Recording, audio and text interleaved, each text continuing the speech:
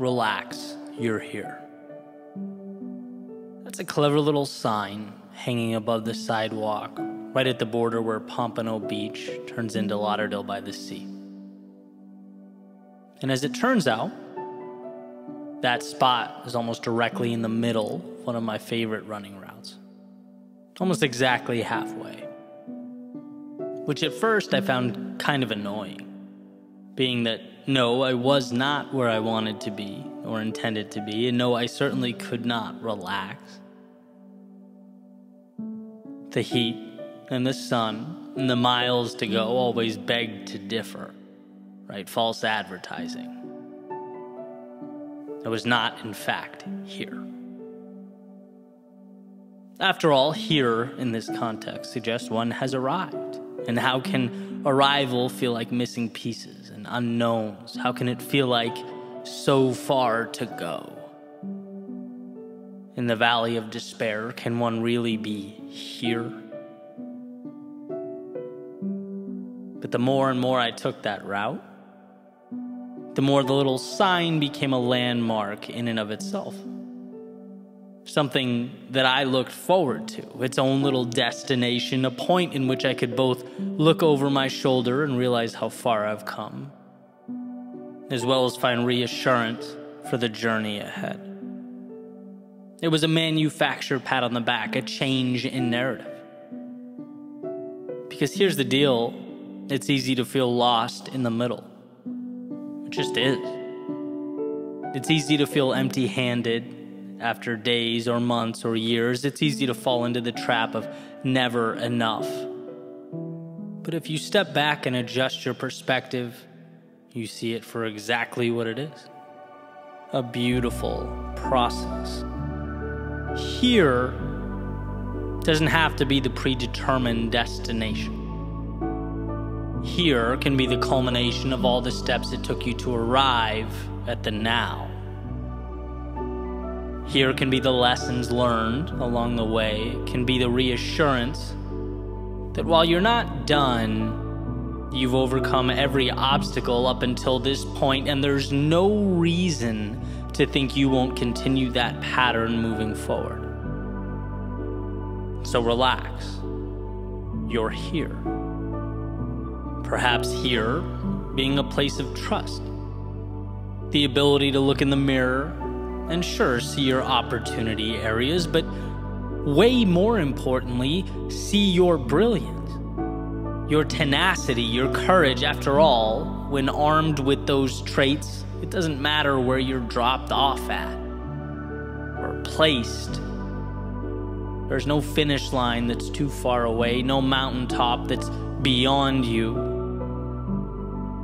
Where you end up in the game of life will be directly correlated to the level of trust you have in yourself to play. So relax. You're here. Maybe here being that point where you can make the leap you've always wanted to make. Where you can feel confident that the unknowns don't stop you, they inspire you, where you see the past as proof that your limitations exist only where you decide they do. And here is not a wall or a barrier, but a springboard to the next great adventure. Where you find that spark of inspiration to push against life and see what comes back to test the waters, ride the wave, that self identified beginning that lights a fire in your soul. So relax, you're here. Maybe here being the point where you realize you've been selling yourself just a little bit short.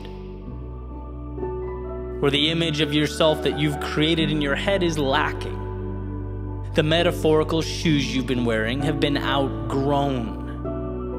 And here is where you change them for something that better suits you. Where you make a contract with yourself to endure the growing pains and the discomfort, where you willingly pick up the pace in exchange for that adrenaline rush associated with leveling up. The excitement of the wind on your face, the increased speed opening up your mind to the realization that you haven't even scratched the surface with regard to your potential. And that alone is a gift. So relax. You're here. Maybe here is a reminder to simply enjoy the now. To stop thinking only about what's down the road and look around. To realize that the future is just a fantasy about what might come. And the past is a retelling of stories that have already occurred. Making your experience on this planet only right now a culmination of right now is stacking up to comprise your entire life. And while the destination is the purpose that pulls you through, the very idea of a destination is essentially trading a current right now for a future one. So maybe look around and enjoy what you have. Appreciate the moment in all its glory relax. You're here. See, whatever here means to you, it's essential that we know, even in the heart of the storm, the chaos of battle mid journey, that you have everything you need. Not just to survive, but to adjust and re examine to identify what means the most to you and follow that like your life depends on it. Relax, you are here. Here being the inflection point that separates the past from the future, that cuts your negative self talk and those self imposed limitations down to the nothings that they are. For me, that sign and its message have become a reminder of the duality of life. The tightrope that I have to walk between chasing down the dreams that pull me out of bed every morning and simultaneously cherishing the moments that comprise the journey. Sure, it's the halfway point of my run, and sure, I have ways to go. Sure, celebrating now would be counterproductive, but breathe in. Look what I get to do. Look where I am. Look what I have.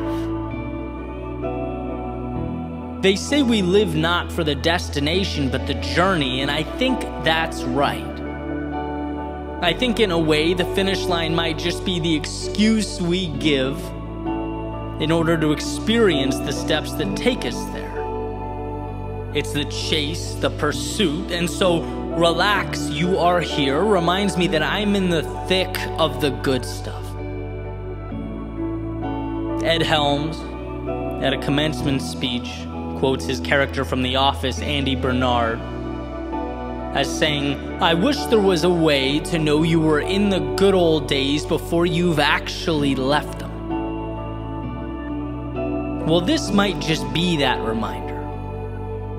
Grow to something you've yet to become, but with everything you have, appreciate who you are now. Respect that finish line, but cherish the race. When the time comes and we've reached the end of our days reflecting back, I think there are two successes that I'll identify as I'm reminiscing. First, I don't want to look back and feel regret for a lack of courage. I don't want to wish that I'd been bolder in pursuit of my dreams.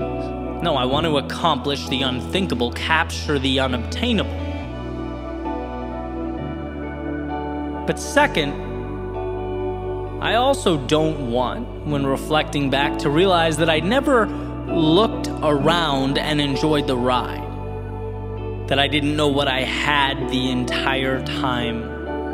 That when things felt like a lot, I forgot that a lot was in and of itself a gift.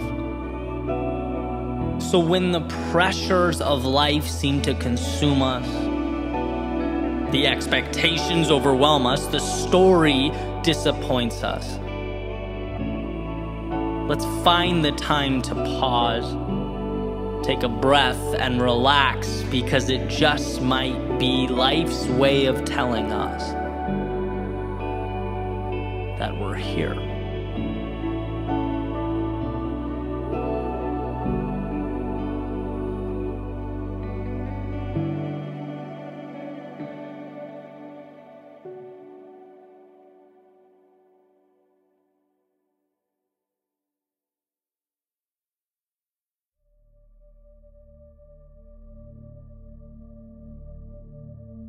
You're not here just to get by,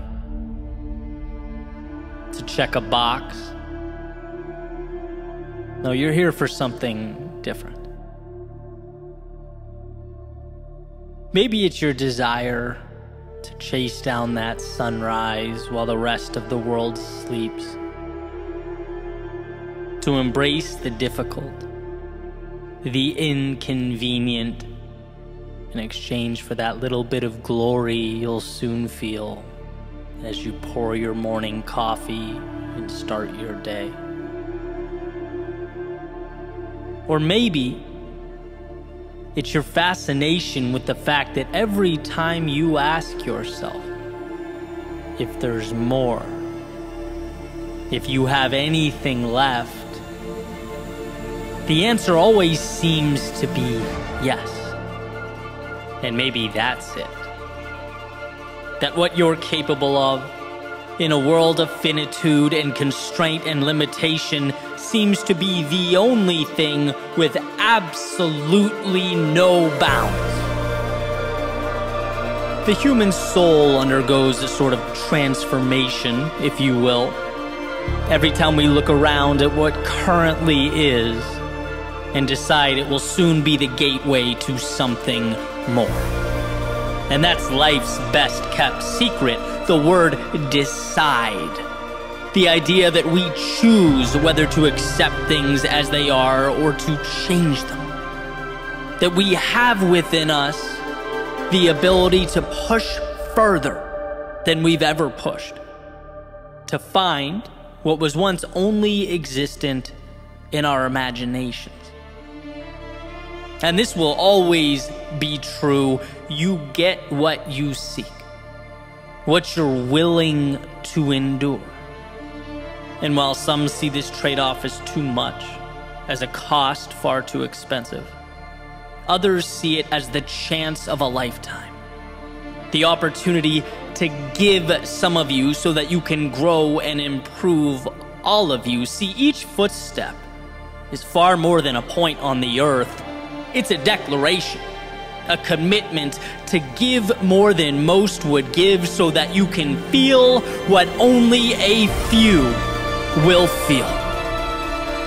So remember that when things seem trivial, when it's easier to call it a day or turn it around, that the simple act of continuing forward puts you in the minority. It's positioning you to experience life as it should be lived. You're here to both cherish the now and cash it in. Let the value of your courage compound. Let your resilience remind you just how much control you have and how much is waiting for you. If only you say yes when it hurts Move forward when the path is unclear. Believe when the possibility only exists in your head.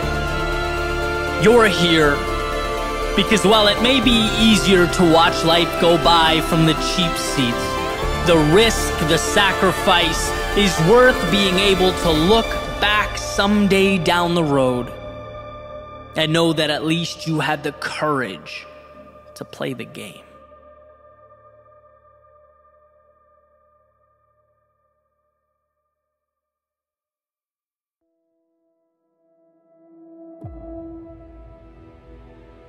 Most often, our greatest source of pain comes not from the moment, but what we suspect that moment will mean.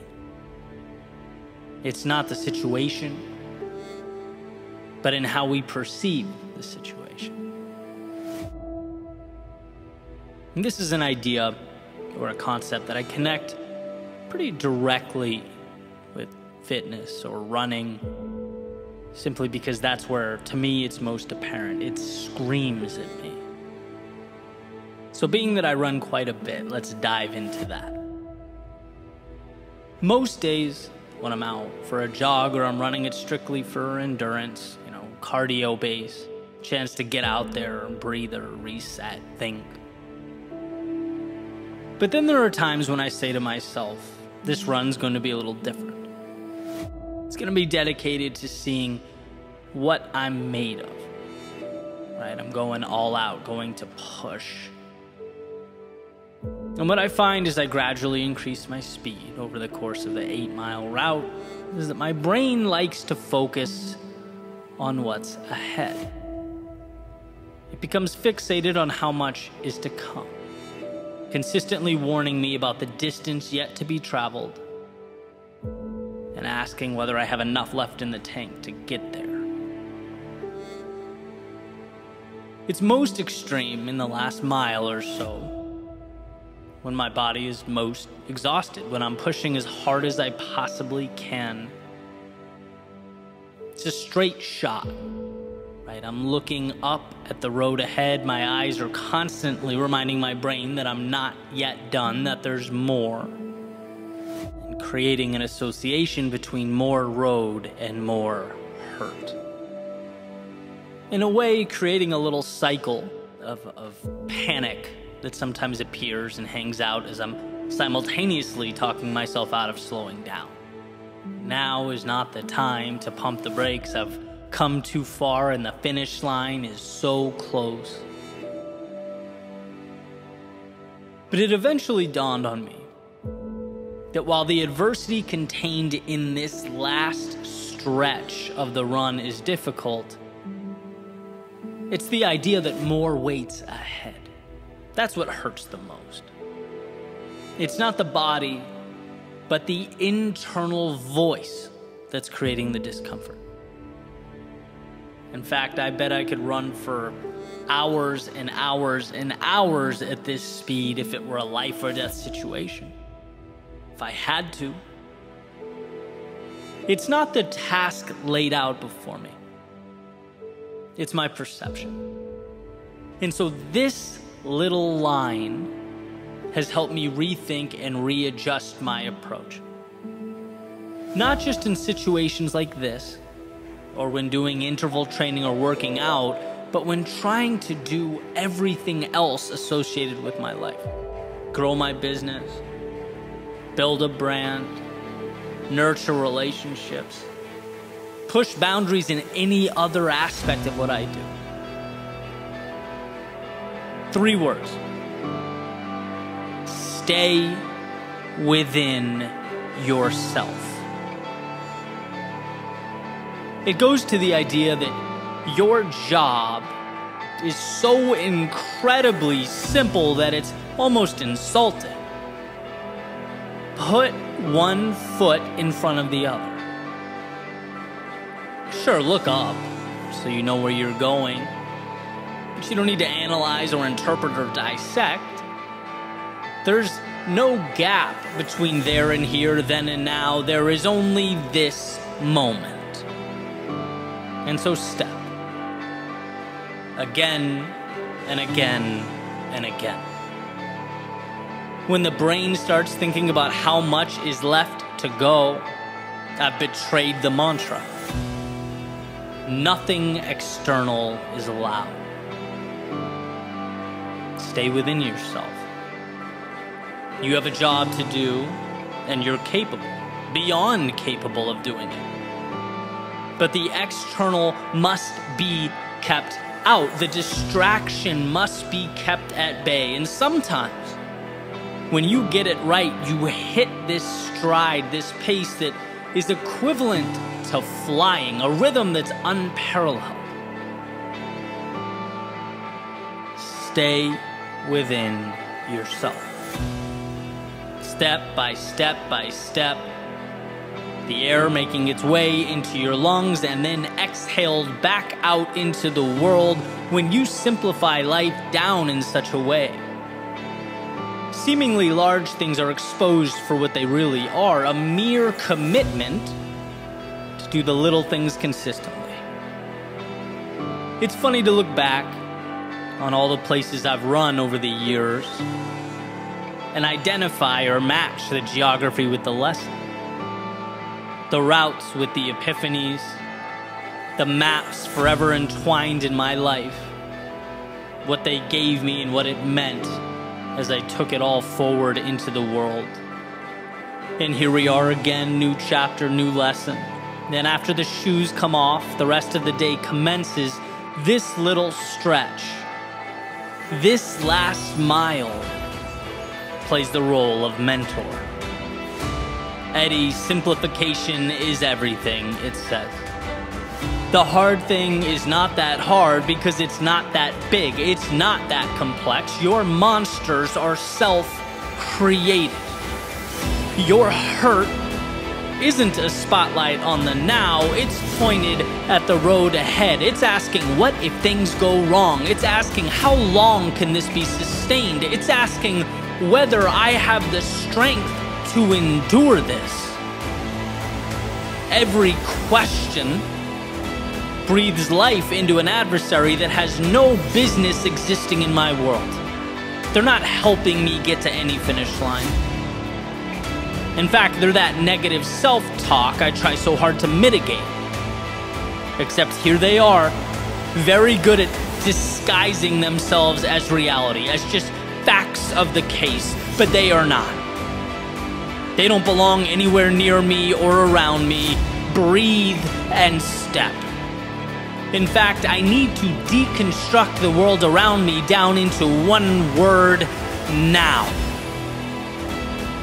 And what you find when you remove the emotion, the excess, is the simplicity of the task at hand. Maybe not easy, but simple, and complexity is the enemy of progress right now may not be comfortable, but at least you're operating with clarity, and that is always enough to simply carry on, to move forward, to stay within yourself. And that's what this is all about asking the question where are you letting what's down the road get in the way of what you're doing now? Where are you letting the pain of what's not yet here, the pain of roads not yet traveled, keep you from doing something that is 1000% in your wheelhouse, that you are capable of. See, in this example, it's to breathe and step. It's to, in a sense, turn the mind off and go into autopilot. Find the pace and hold the pace. But the question is, what is your last mile? What metaphorical race are you running? Have you identified one, the finish line, and two, what needs to happen right now to get there? Forget about the gap. Right now. What is the simple solution? What is required of you in this moment? And perhaps most importantly, what needs to be pushed out and mitigated. It's often true that we stagnate not because we don't have the tools or ability, but because we're oversaturated with the wrong things, the wrong routines, the wrong thoughts. The best way to break through that self imposed wall is to actually build walls that will prevent complexity from even attempting to rear its ugly head. What is your run, breathe cycle? So stay within yourself because when you do, you see how strong you are. Stay within yourself because you are the author of your story. Stay within yourself because all you need is now to push forward. Stay within yourself because that is where the power lives. Stay within yourself because the only way to lose is to let the external in. stay within yourself because at some point that road will have been traveled down. The finish line will have been crossed. And it will have been precisely your ability to condense it all down into the simple, the ground under your feet that allowed you to get there. Life tried to pull you 1,000 different directions tell you 1,000 different stories, but you pushed it all away. Found that power within the moment and stayed within yourself.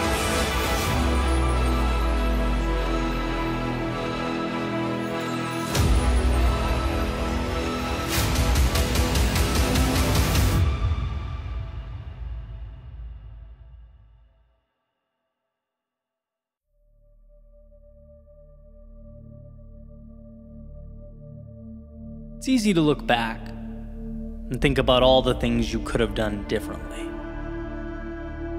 Especially since as we get older, we get wiser. Right? Time provides this beautiful gift of clarity.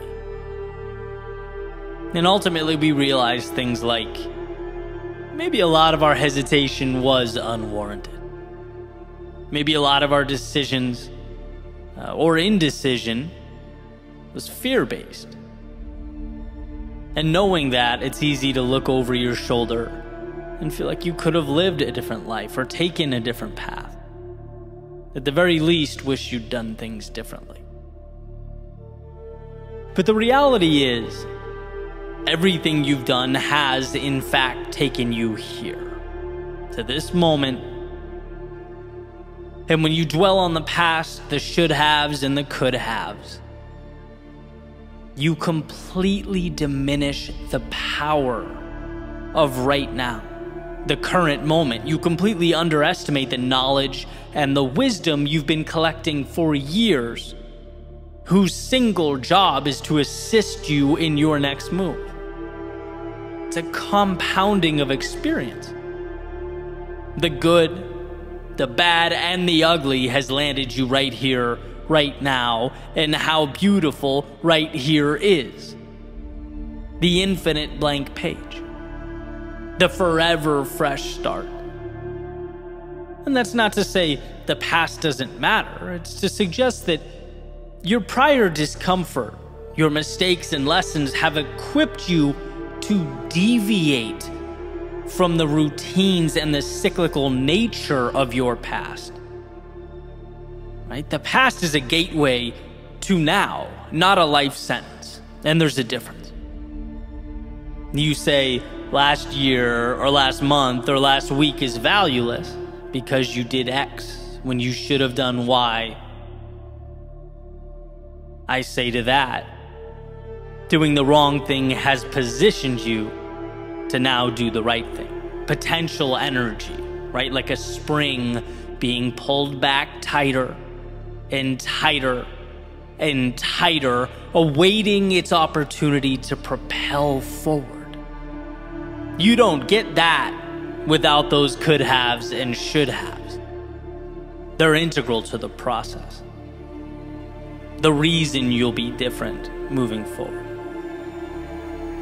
You can say, I wish I'd taken more chances. I wish I was bolder. I wish I followed my heart. Two pieces of news for you. One that's fantastic. It seems as though you're now aware of those times you fell short and can therefore mitigate them moving forward. And two, you're not dead yet. We have to stop looking at yesterday like it's anything but a ladder to greater competency. The gymnasium for your decision making. Anyone can cherry pick the past, but the practical me asks, what does beating yourself up about what's gone do for you? What does it add to your life? except for enabling and legitimizing the same identity you're looking to evolve and move on from. See, we don't limit ourselves because of right now. It's always because of yesterday. Look what happened. Look what I lost. Look how things turned out. And it's like, take the data and trudge forward. You now have the tools to move right into that darkness of night. And in five years, you'll look back and sure, you'll wish you did things differently. And same five years after that. But that's why life is a journey and not a standardized test. We are picking up the pieces as we go, painting the masterpiece one brushstroke at a time. And even though you might wish yesterday's brushstroke was a different color, a little darker, different shade, it's just as valid as all the others in contributing to the mural in its totality. So sure, be your greatest critic. But be your greatest ally as well. And that calls for being bold enough to let go of what's gone. Extract the value from yesterday and use it to build now. Something, anything, that's up to you, but hear the message. It's up to you now. Not who you were yesterday or what you did, not how people saw you or how you used to live your life. You have an opportunity now to go wherever your heart desires stronger and wiser at this point in time than you've ever been in your life. So rather than dwell on what's gone, how about asking how you can take those pieces of yourself and build again?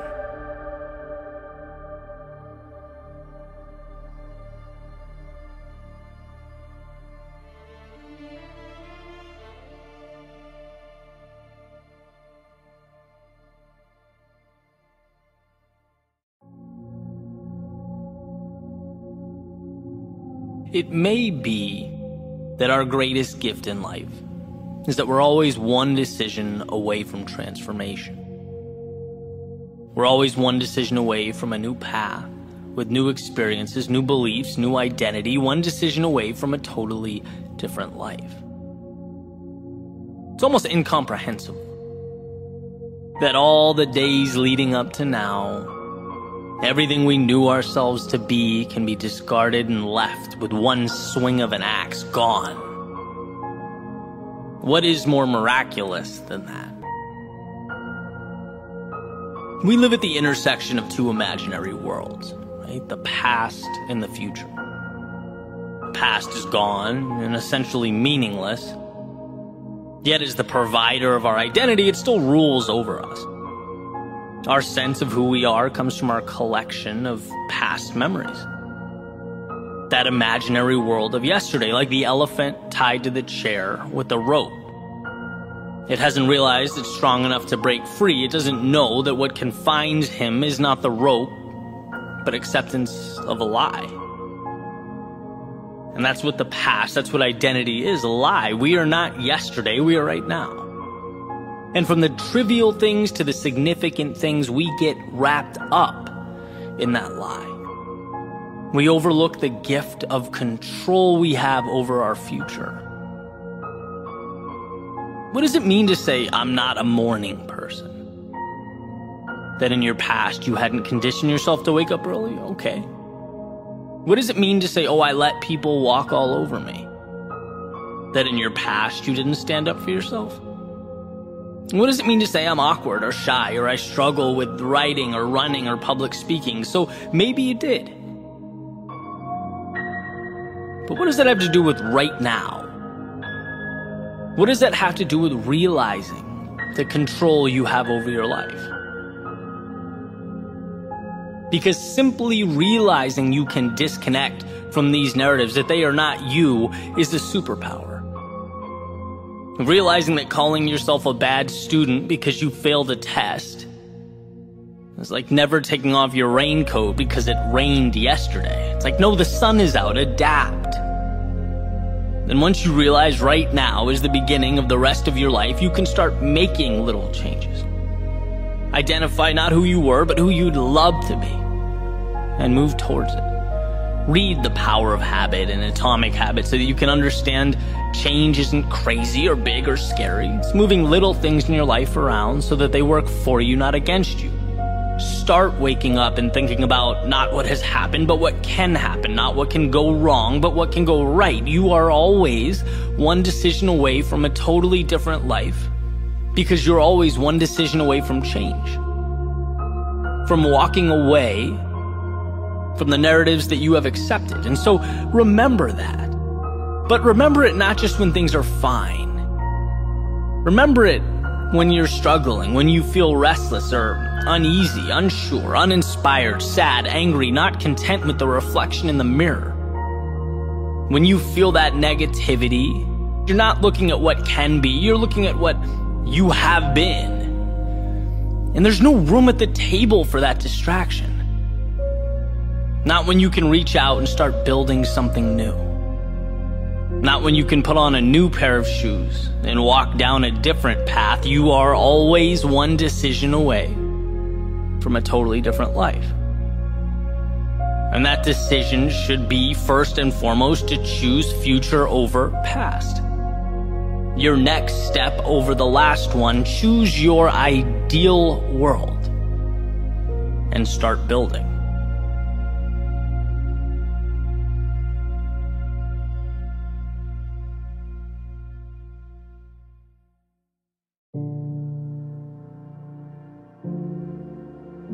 Goodbyes are tiny beginnings.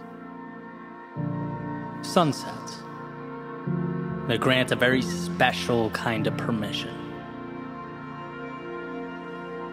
A green light to take all the value and the beauty, all the life lived, and carry it into tomorrow. Which sounds easy enough. But then again, on paper, so does running a marathon or climbing Mount Everest. And I'd wonder how could something be painful and transformative? How could something break me and be good for me? It's not hard to see the dissonance there, right? But here's the thing.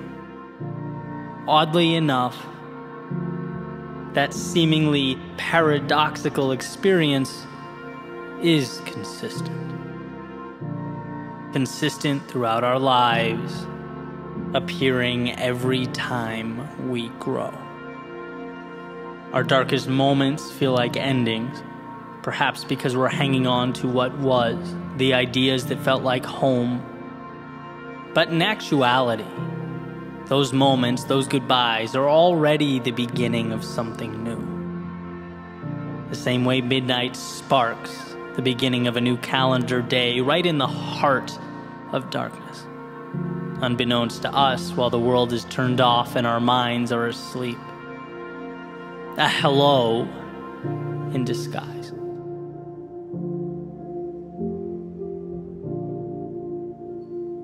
When we said goodbye, my heart immediately declared war on my mind. Why? Because her not being there didn't make sense. Because when you care about something, you fight for that thing. Because goodbyes, well, they signify change, and I liked this chapter. But my brain fired right back. Right idea, just wrong time. What's the reality of this situation? Did you ask yourself that? It said letting go can be the hardest thing and the right thing simultaneously, that I should know the rules. And so goodbyes were said, and suns they set. And we went to sleep in separate beds, not knowing anything about the future except that it would be different. Way different than today. And immediately in comes the heart. Picks up the mic, tap, tap, is this thing on? Check one, two. Hey, make sure you're aware of what's gone. Make sure you spend your time thinking about what you don't have. See the blank pages? They used to have writing. You see the empty space that used to be occupied. Make sure you shine that spotlight on what was once there. Oh, it's empty? How does that make you feel? asks the heart. Then the door opens, in comes the brain, the pragmatist, more direct, certainly more matter of fact. Says, hey, time to move. You have things to build and places to go. You can't let that blood pumping organ get in the way of what really matters here. Lace up your shoes. Open the door. Go make a name for yourself, kid. Go be that guy. You get what you focus on. Remember, focus on the reality, the process, the analytics. Data doesn't lie. Your heart does, though. I let them fight it out for a few.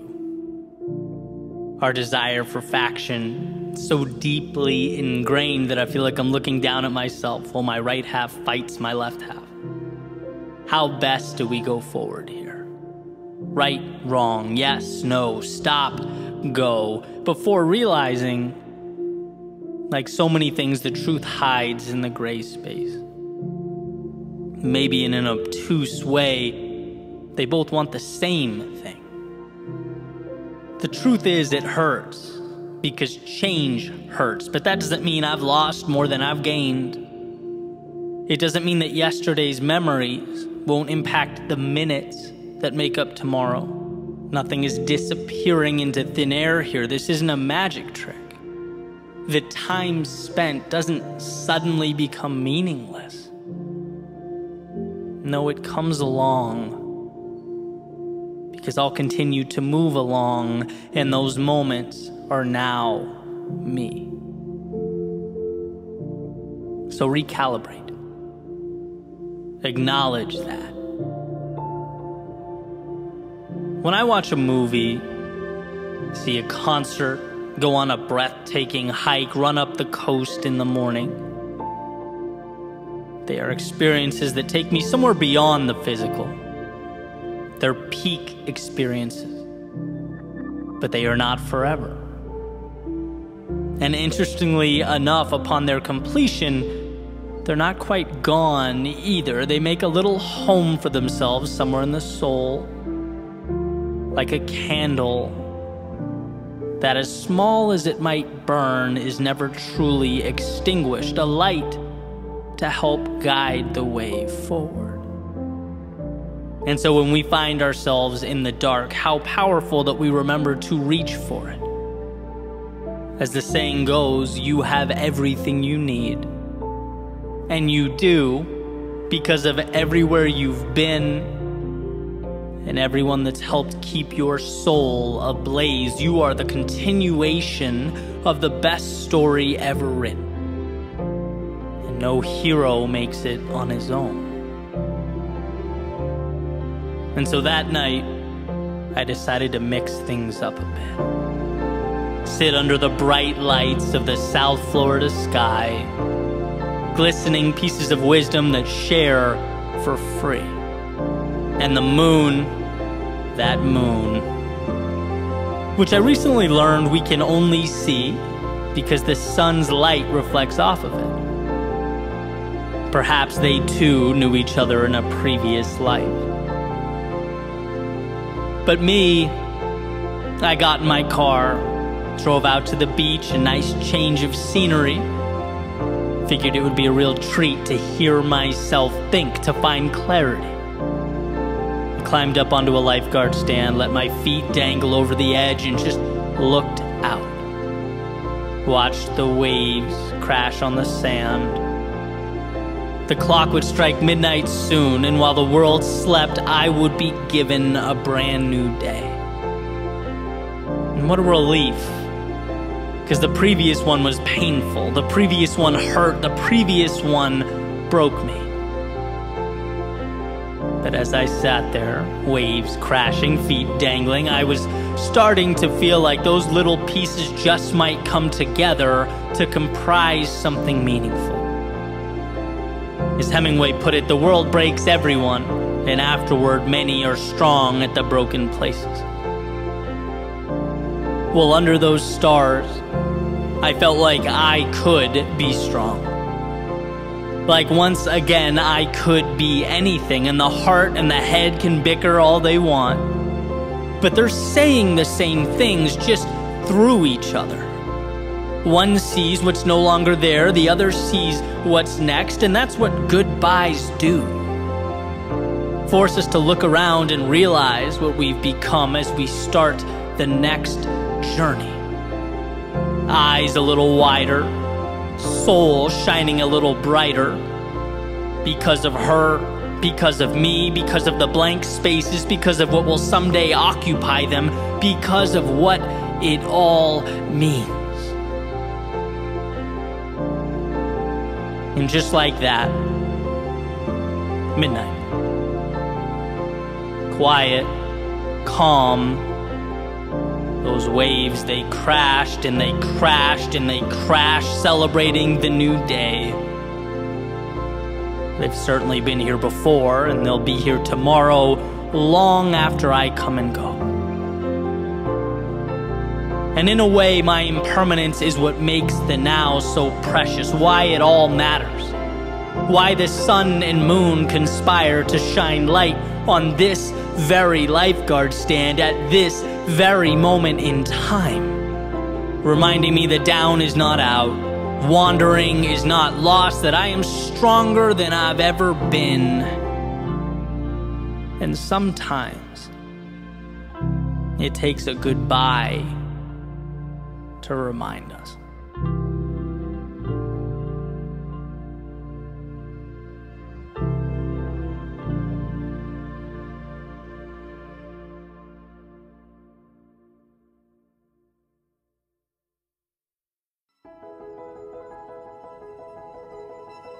Standing on that ledge, staring out at what we know we need to do, at the moment we least want to do it, well, that's where the future is shaped. When procrastination feels like the answer, or avoidance the optimal choice, where does one draw their strength? They say routine is a powerful tool in this fight. And, and, I believe that. When something becomes habit or part of the process, instilled in the day to day, there's just simply less room for negotiation we show up with our eyes on the prize. But here's the thing we are human. There's simply going to be days when the world pushes back. Life is a game of complexity, it's unpredictable. You want to talk about the good days? Fine. It's easy to show up when we're feeling good. And thankfully, those days outnumber the others, right? Creating the bulk Uh, of our consistency 10,000 hours. But not all of them. Life is about momentum. Myself, after coming off a pretty terrible weekend for a variety of reasons, I found myself on that ledge again. When the alternative route made itself known, where it felt mighty tempting to call it off, take a break where my worldview had come into question. I had to ask myself, who are you? Really? It's easy to rationalize walking away in these moments. In his book, The War of Art, Steven Pressfield says, Our job in life is not to shape ourselves into some ideal we imagine we ought to be but to find out who we already are and become it. Well, who would have known how much goes into that process of becoming? How committed we have to be to the road before us, and not only when it's sunny, but when the skies are dark and gray. And how, if we allow ourselves in those difficult moments to say, sometimes it's okay to wave the white flag it's okay to walk away, then you leave the door cracked to make that same decision at any other point in time. Right? Quitting, conceding can very easily become a habit. And a habit we want to avoid at all cost. Right? I have this um, little rule that no matter what, I can never leave dishes in the sink overnight. Never. I treat this, you know, arbitrary little promise to myself like it's life or death. Which, again, random, but hear me out. It's, it's half practical, half symbolic. I know that if I say, okay, just this once, I've effectively removed the barrier separating order from chaos. If it's okay just this once, then it's okay 1,000 times. And a messy sink becomes a messy kitchen, becomes a messy house, becomes a cluttered mind. Extreme, maybe. But critical, right? Here is where the symbolism comes in. I understand how fragile that divide. How when I'm tired or have a headache or I'm busy, it's still priority. Because I want to hammer my subconscious with the understanding that I show up when it's inconvenient. That very moment when you know, I could easily trick myself into thinking it's small or dumb or arbitrary. It's a sink, who cares? Right? That's the moment that I need to bleed into the rest of my life. And I think that's exactly it, right? The floodwaters are always looking to come in. And how many cracks until the room gives way? You know, when you've had a few rough days, when you've lost something important to you, when you're sad or disappointed about an outcome, what then? When life calls you to exceed expectations, what then? Because the world around you will always give you evidence to support dialing it back, right? Selling yourself short if that's the case you're looking to make. But here's the deal should you choose the inverse, you are strong enough to be better than you've ever been in those challenging moments. You can show up when it hurts. You can reestablish your why and carry forward even after the turbulence of yesterday. Life will never be easy. It will never all make sense. And this understanding uh, has helped me to roll up my sleeves and continue forward. When I'm disappointed with yesterday, or overwhelmed by the conditions or landscape of the moment when I question how much I have left. But I've found that when I look hard enough, there's always something to draw on. And that's the message of note. That's what we must show ourselves. When you're on that ledge, this can be where you're at your best. This is where you get to uncover just how deep rooted your greatness is. This is where you set the standard and the pace for everything to come.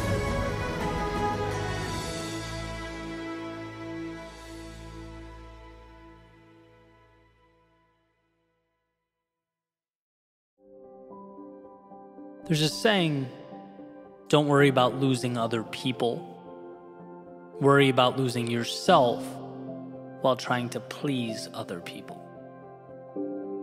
And see, holding on to our authentic selves, not always easy. In fact, Emerson said to be yourself in a world that is constantly trying to make you something else is the greatest accomplishment. And that holds true, right? especially in our fast paced world shiny objects constantly buzzing around us. Sometimes it seems like the only way to see with clarity is to keep our eyes closed. I was in the car the other day, had Spotify on shuffle, and a Jason Aldean song came on. It's called Better at Being Who I Am. And it's essentially about a guy who loses himself in a relationship a little bit at a time. And the chorus is basically him sharing his epiphany, looking around and going, Whoa, what the hell happened? And it was laid out in a way that wasn't sort of the obvious, blatant, you know, be yourself. I mean, sure, part of the theme was how important being yourself is, but the emphasis was on how fragile of a thing that can be. He put a spotlight on the idea that he got good at forgetting he was in a place that he knew he didn't belong. How we can become masters of forgetting that, champions of rationalization. And that was his message, being that he has somehow, somewhere lost himself along the way. That concession after concession can ultimately put you in a place where you don't know who you are, where you can know something isn't quite right, and still, slowly and subtly, it creeps in. It can consume your reality, and that's what cut through me. Not simply because it occurred. It wasn't so much the epiphany itself, but more so that he showed how easily the erosion of the self can occur in our lives, how easily we lose ourselves, how sneaky the whole thing can be. And this particular example is pointing to a relationship with his girlfriend, and it certainly can be this. But it doesn't have to be, and often it's not. It can be a job you don't want to do, but hanging in there just one more day, you know, turns into more days than you can count. It can be time with the wrong people, doing the wrong thing, going against your best judgment. It can be the business decision for short term gain that ultimately points you in a direction you don't want to go, right? Before giving life to that convenient phrase, well, I've come too far to turn back now. Life is like a small child, always gently tugging on his mom's sleeve to get her to stop doing what she's doing and go get ice cream, right? It's the temptation to move away from the task at hand, to abandon the principles just slightly, the objectives just enough that they'll be pulled off track, right? That that's always there. And to reiterate, because this nuance is why I think the idea is so important. The message is not simply about being authentic. I think we all understand the value and necessity of authenticity, or at least I hope. Your value is in who you are. The things that make you unique are the gateway to a life of fulfillment. What makes you you? And how can you delve into that? Share it with the world. That's the good stuff. Okay, so let's presume we know this.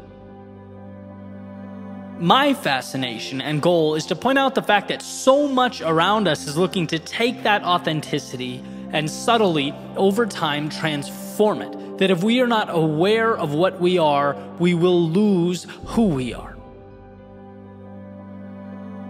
And that's where you end up in those wrong relationships, wrong places, doing the wrong things. A lot of times it wasn't deliberate or conscious. It wasn't one swing of the axe. It was letting yourself slip away one day at a time. It's the pressure of an infinite number of things, right? The, the billion choices you have pulling you in all different directions.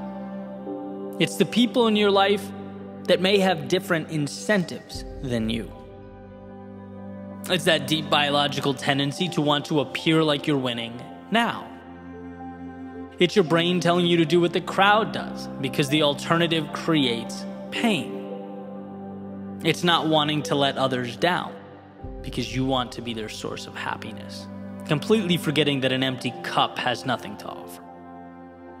It's the deception online, the highlight reels, filtered pictures, humble brags, and exaggerated success stories, all prompting us to say, well, then I must have miscalculated. My path must be the wrong path.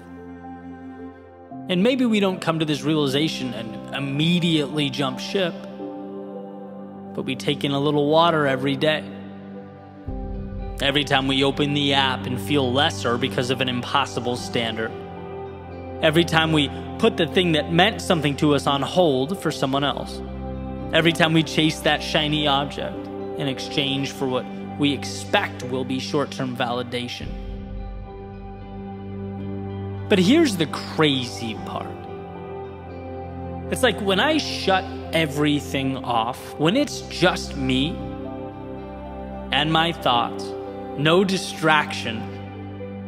I have a very good sense of who I am and what I want, just in my gut. I know what feels right to me. And it's only when the chaos comes in that the target can get blurry and the goal seems to live a little further away. And maybe that's why that song had an impact, why the light bulb went off. The idea that something so obvious, so powerful, so important can elude us and deceive us. There's something to that. I'm better at being who I am. Of course I am, and so are you. So why don't we? Why isn't there an emphasis there? Why is that something that doesn't get our thought and attention? We can't afford to forfeit that instinct. And so, this is the part where I remind myself and everyone listening that you get nothing in life without some semblance of self trust. You have to take the time to understand who you are and trust yourself to build that from the ground up. Without that, you'll get swept up by the currents of everyday life. But to know what matters in your world and to hold on to it with conviction, that's what it's all about. And then, yes, you'll have success letting people into your life when they contribute to who you are as a person, when they align with your values, when they feel like wind on your sails. And yeah, of course, take the proven paths and utilize the beneficial tactics, but only when they align with what you are building. If not, you know, walking away is the best option, wandering around until you find alignment. Now, that brings more value than a toolbox of the wrong tools. And sure, sometimes you have to do things you don't want to do. I get that. That's called being responsible. But those things, as annoying as they are, should be contributing to something that does matter to you. The building's foundation is not fun or sexy, but it's necessary. Just make sure you believe in what will ultimately be built on top of it. Otherwise, you are most certainly wasting your time. Your gift is you. You have something to share, something to explore, nurture, and grow. Stand in front of that, never hide behind it. Protect it. It's the benchmark against which all other things should be measured. We're all better at being ourselves than some impersonation of what we think the world wants us to be. I think the question comes down to will you allow that greatness for yourself? Will you be courageous enough to keep the spotlight on what matters most? Will you maintain the awareness that when you're walking down a path that doesn't align with who you want to be, you can self correct. Turn around. Put emphasis on that part of you that lights you up. Because that will not only benefit you, but it'll benefit everyone around you and ultimately benefit the world.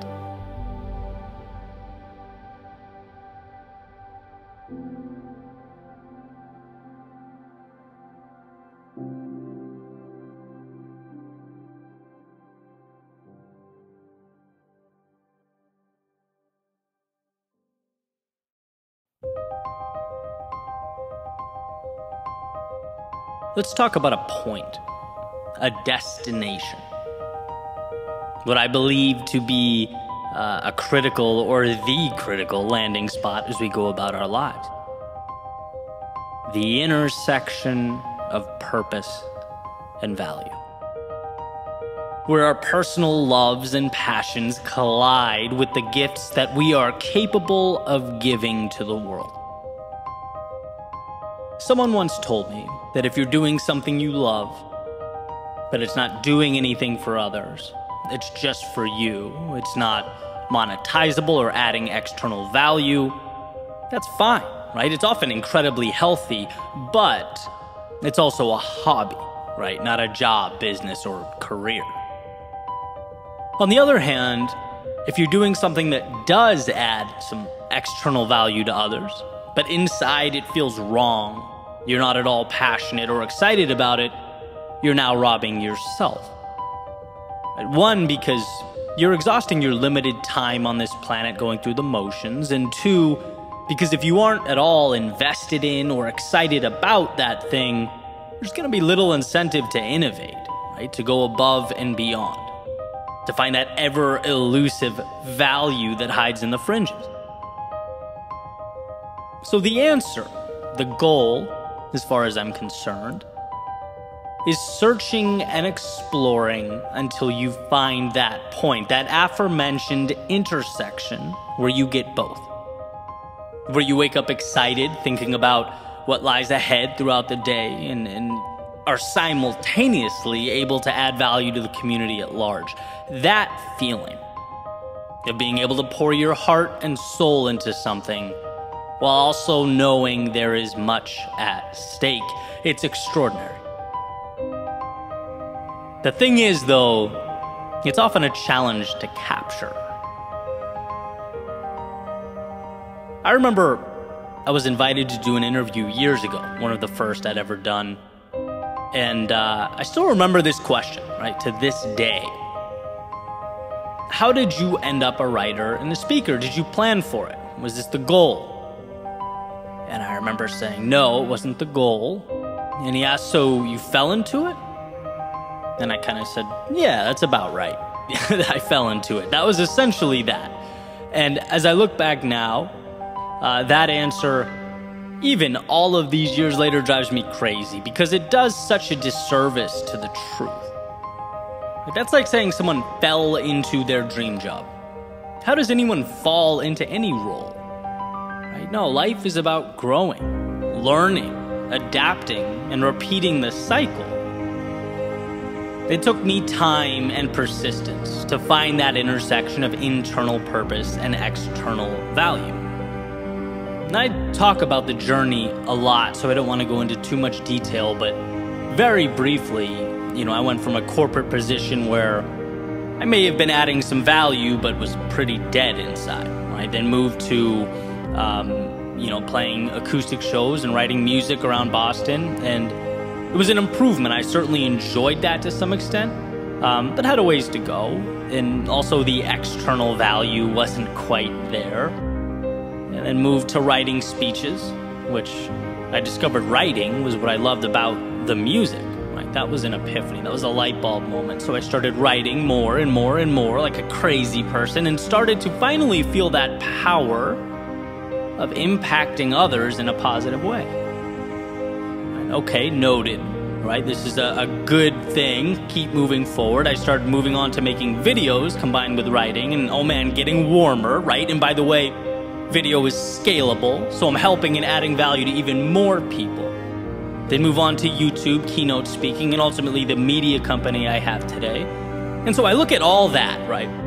The whole process, pretty sloppy, right? A lot of unforeseen changes, a lot of things I didn't expect or anticipate, a lot of poking and prodding. And every move was getting me closer to what brings me joy in my left hand. Well, I held on to what makes society a better place in my right hand, right? What adds value to those around me. I wanted to find that intersection, right? While cutting away things that uh, I wasn't crazy about, right? I didn't like. The so called hobbies that I enjoyed, but you know, weren't going to be the train that I took to impact or prosperity. So, no, this exact career progression was not planned, right, in any way. But this feeling, finding this spot in life, obtaining this sense of purpose was incredibly methodical. And so now, when I'm asked that same question, I give a very different answer. And that's critical because it's hard to not know what the future holds. It's uncomfortable. one demographic I get a lot of emails from is college grads, right? The whole world's in front of them and they don't know what to do. My answer is always the same. Right? You don't have to know what the future holds. You're not supposed to know. The idea is to explore. It's to move closer to the things that make you feel alive little by little. While, by the way, simultaneously cutting away the things that, sure, were worth a shot, but after some exploration, you kind of feel like, eh, not for me. Right? It's a continual process of honing in and looking for that spot where it's like, this makes me feel good. This is the starting point. So now, how do I position myself so that I can add value to others while doing this? How can I be a light in the world? And I believe wholeheartedly we all have that. We're all capable of that. It's just different for all of us and requires searching. We have to get over the fact that it's scary stepping off that ledge to navigate the waters of life, knowing that this just might be one of those experiences that goes awry. That, yeah, you put the time in, the energy in, and all you left with was the understanding that, wow, this definitely is not for me. And that's perfectly fine, right? It's like noted, now on to the next. I say all the time life is not a standardized test. Now, I like that metaphor because it dispels the notion that there is a simple right or wrong approach. That's not how anyone has ever arrived at excellence. Excellence is an experiment. Excellence is a journey, and journeys take courage. Believe me, it might seem easier not to go. It might seem easier to stay where you are in order to make this or that person happy to save yourself the short term angst of not having a plan. But in the long run, if you're not happy and you don't, in some capacity, step into that unknown, you eventually come face to face with that word we all hear so much about regret.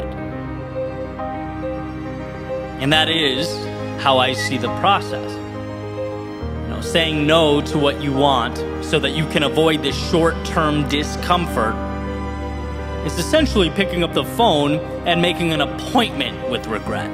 The only question is whether the reservation is in two months, two years, or two decades. So, why not set out in search of that remarkable place? That intersection of what you love and what lights up the world what prompts you to jump out of bed in the morning, and what just might inspire others to do the same. When you are in doubt, take the question, is it possible, and substitute it for, how can I get there? When overwhelmed, remember that you are not alone in your frustration or your uncertainty. That the world around you was built by people men and women from all different backgrounds and all different places with all different stories who took that light in themselves and didn't stop fighting, pushing, searching until it became a beacon not just for them, but for those around them. I said it before, I'll say it again. We are all capable of that. That version whatever it is in your specific life. You can have that reality, you can be that person, but you must both believe it's possible and start moving towards that life changing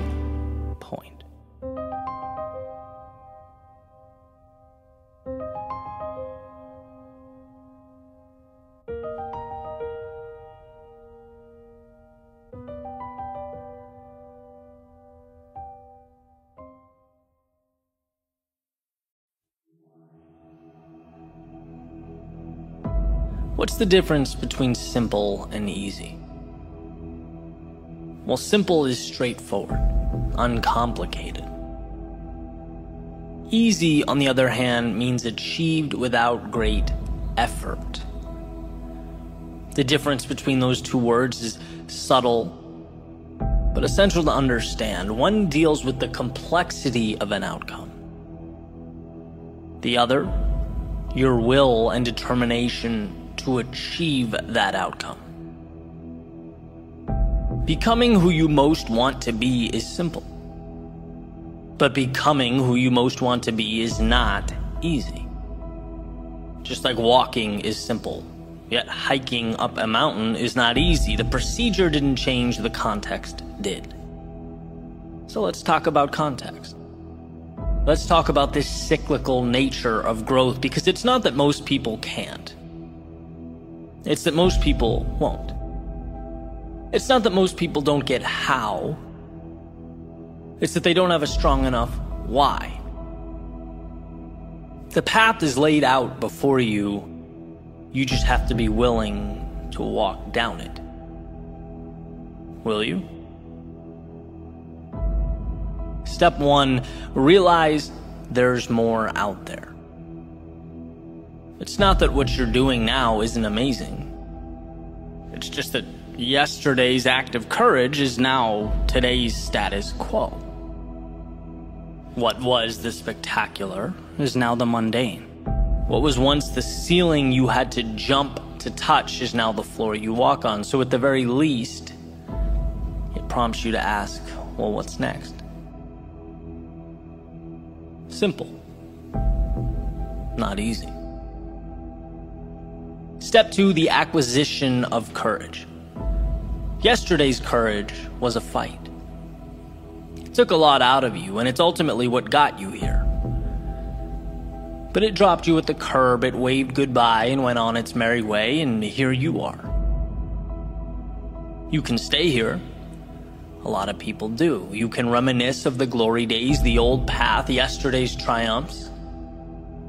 Or you can do that perpetually uncomfortable exercise of vulnerability Stepping into tomorrow's unknown, reminding yourself that life's greatest rewards have a hefty price tag, and that price is discomfort.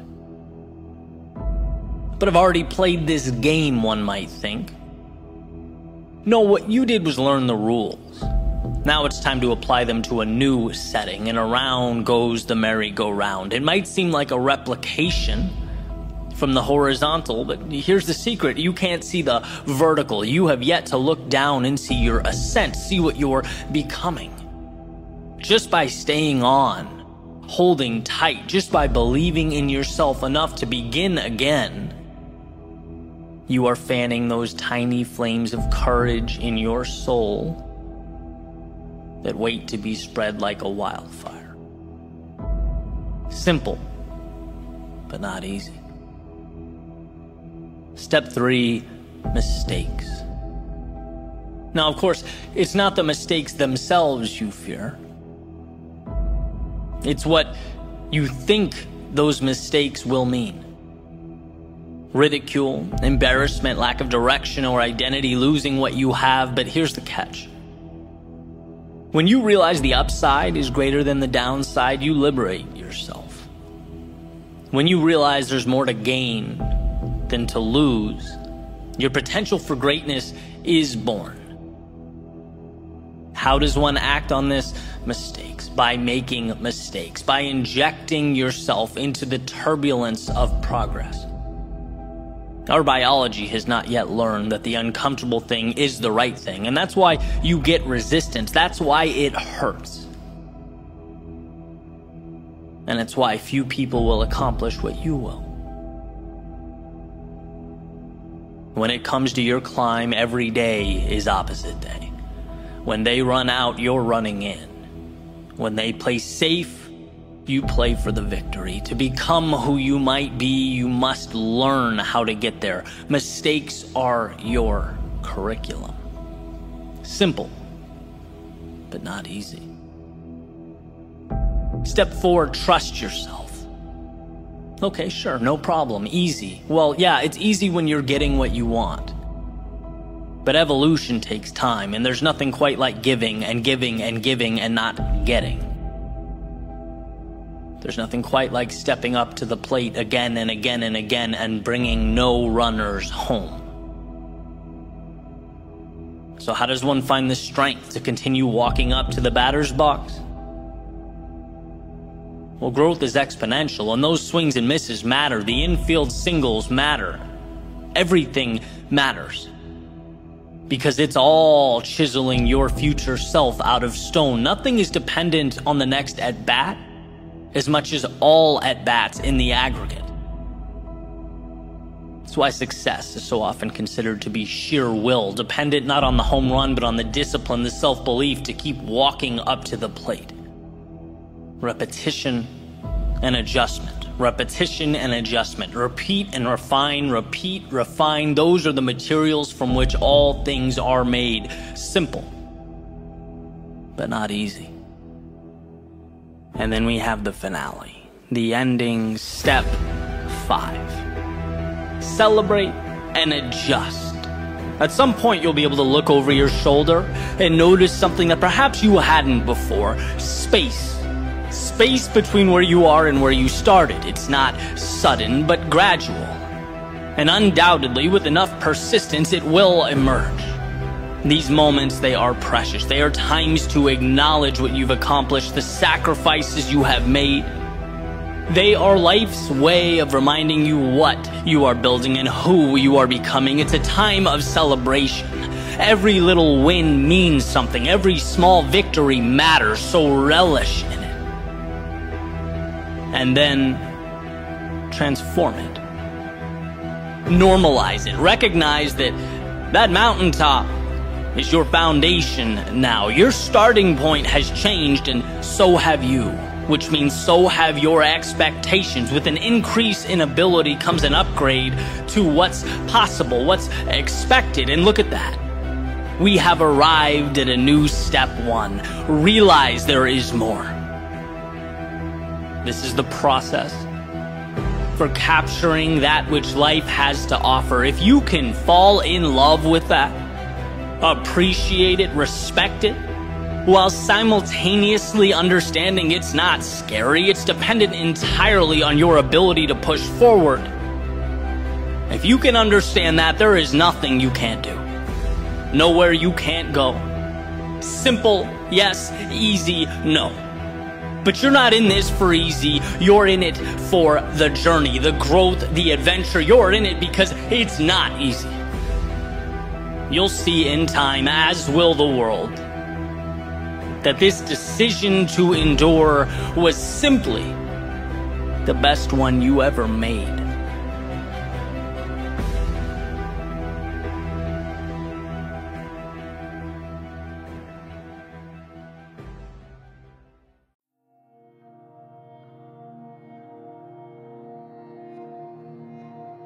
What if the so called detours in our lives weren't detours at all?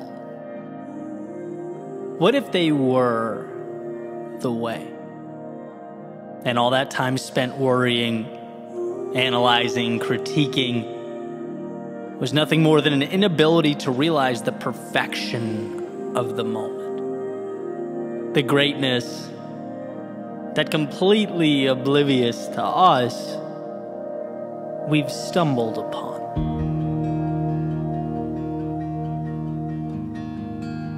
Sometimes we can fall into the trap of looking at life in a way that I believe is uh, too linear. You know, and I, I certainly think we benefit from simplicity for a variety of reasons clarity, the ability to make something repeatable, the gift of focus. But here's the thing truth is so rarely black and white. And that begs the question well, what do we make of all that nuance and detail, all that other stuff? The surprises, twists, turns, mistakes, sudden goodbyes, unexpected hellos, the cutting away and the taking on. Because life is messy, unpredictable. And our greatest lessons seem to come from places we least expect them to. Our most memorable moments are often somehow dropped into our laps. The whole John Lennon uh, notion that life is what happens while you're busy making other plans, right?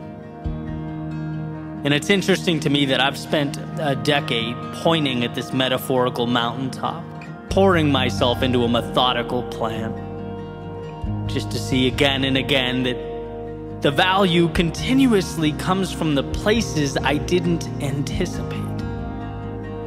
Where if I kept my eyes closed or even blinked for a second, I might have missed it. Seems like the important things often dress themselves up as mistakes, problems, setbacks, and detours. So, why bring all this up? Well, in case you're like me, and you have that tendency from time to time to beat yourself up for the times you fell short, let yourself down, the times you swung and missed. For anyone who thinks a deviation from the original path is in some way a failure, you know, my goal is to remind you that these things every single one of them, they all come together to make you you. And the more days I collect, the more I realize they are not only part of the chapter, but integral to the storyline. They're the character development. See, somewhere, at some point along the way, you'll have situations that change, things that come and go, relationships that fall apart forever things that ended up being rather temporary. And that animal brain will tell you that, you know, this was somehow a total loss, that your days were wasted, your time was stolen.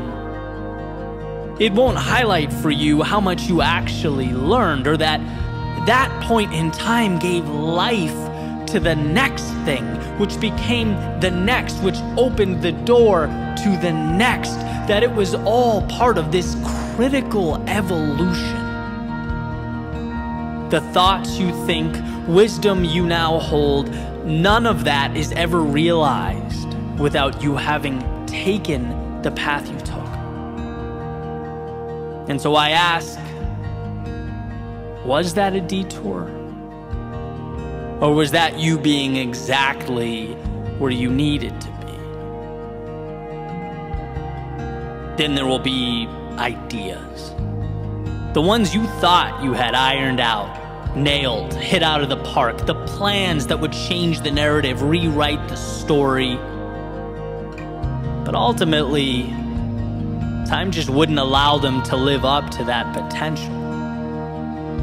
They'll fade away and leave you no choice but to pick yourself up and move on. And your pride, your emotions will absorb all that and tell you, hey, it was all for naught. Another failure, a giant L. They won't show you how learning to brush yourself off and start again is a muscle, a skill, and that being as all people fall, the ones who never learn to get back up are at a tremendous disadvantage in life. They won't explain that you're more courageous now than you've ever been up to this point in time, that depersonalizing our miscalculations and carrying on, well, it won't just help you succeed, it will be the reason you do, the X factor, the wind beneath your outstretched wings. And so I ask, were those miscalculations detours? Or were they the wisdom that you needed more than anything else? And then, of course, there will be the times you just don't know. Perhaps these are the hardest, you know, stuck, unsure. And it's bad enough that you have no idea. But then you look around and it always seems like everyone else has it all figured out. Everyone else has it down. At least that's the message, you know, our brains like to create. You're alone in this. This is all you. It doesn't tell you that in reality, no one knows exactly where they're going or what they're doing. And the ones who think they do are very often redirected, and for good reason, as is the entire point of this message. Right? It doesn't tell you that you don't find yourself until you get lost. That life is not some predetermined checklist or series of qualifications, it's an adventure where some corners are turned only for you to realize that the contents just around the bend aren't what you wanted. And some bridges are crossed only for you to see that maybe you were wrong about what you thought was important. And that, contrary to how you might originally feel, is a beautiful thing. The times you're unsure remind you to keep your eyes open, to enjoy what surrounds you, capture the value, explore the vastness of a world that will eventually offer up all the pieces required to build what you need. And so I ask, was being unsure a detour? Or the necessary starting point to live a life true to yourself? Perhaps we've been looking at this whole thing the wrong way, a little too black and white. What if what we need to do is, while in pursuit of whatever it is we're pursuing, give ourselves a little more love, a little more understanding, because one cannot be their own greatest critic if they forget to also be their own biggest fan. The two are inextricably linked making it not okay to be so caught up in the former that one forgets the latter. Life is messy. So forgive yourself when your plans, from time to time, mimic the pulse of the very world we are trying so desperately to navigate. Be there for yourself.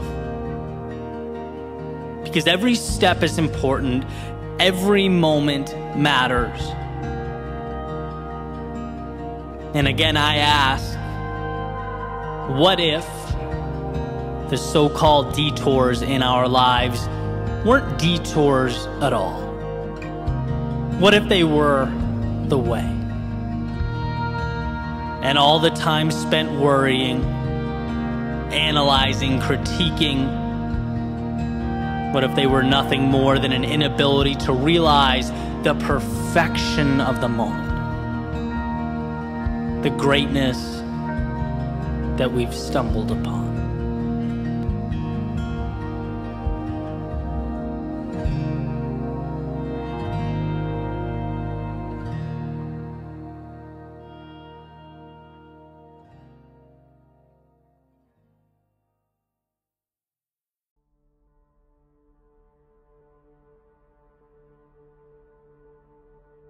Why is this battle you versus you.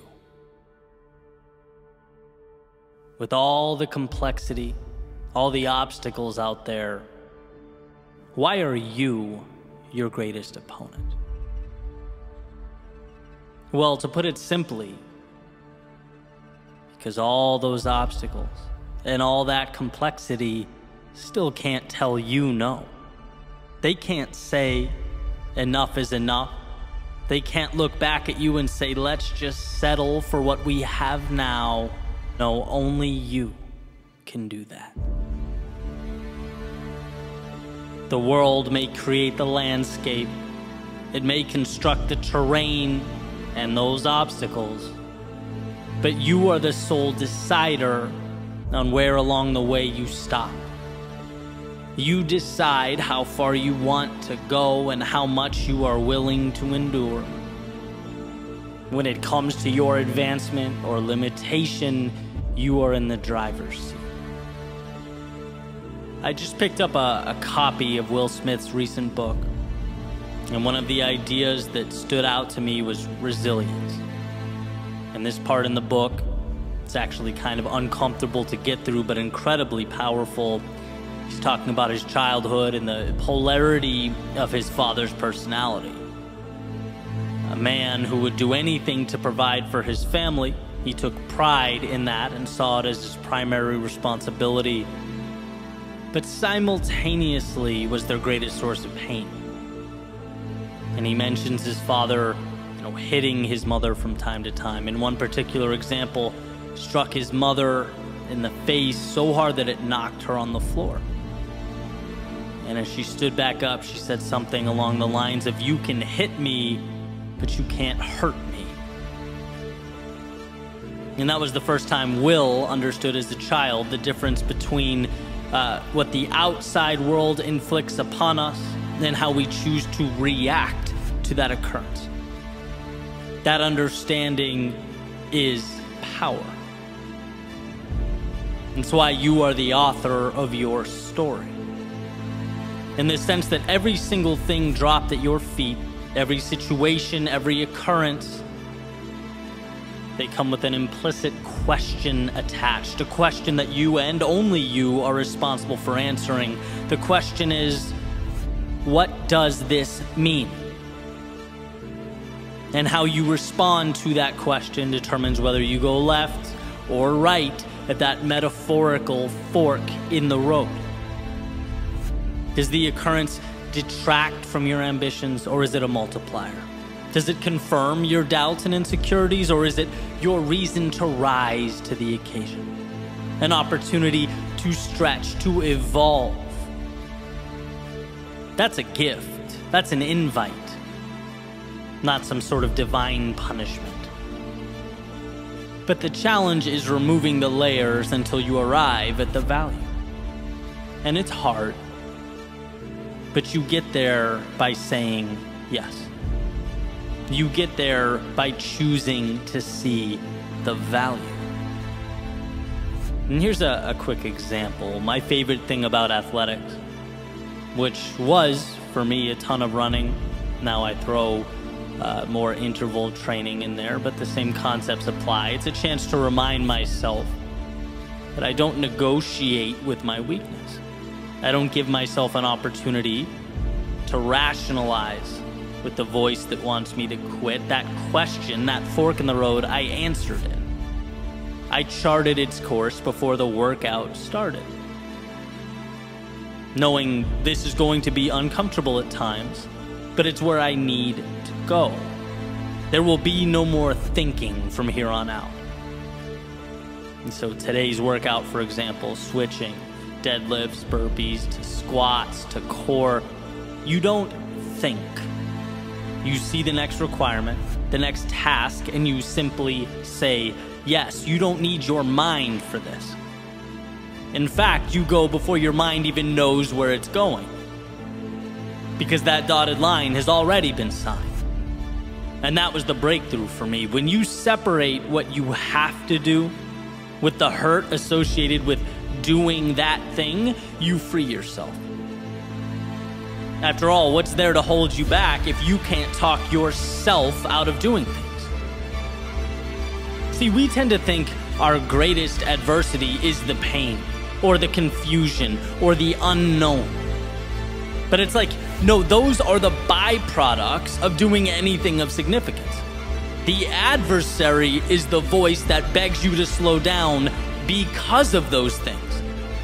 And if you can figure out in your own life how to create space between the two, how to separate the task and the discomfort often brought about by the task.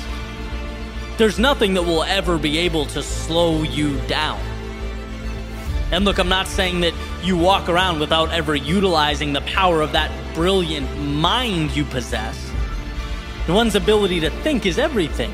But what I am saying is there is a time to shut it off.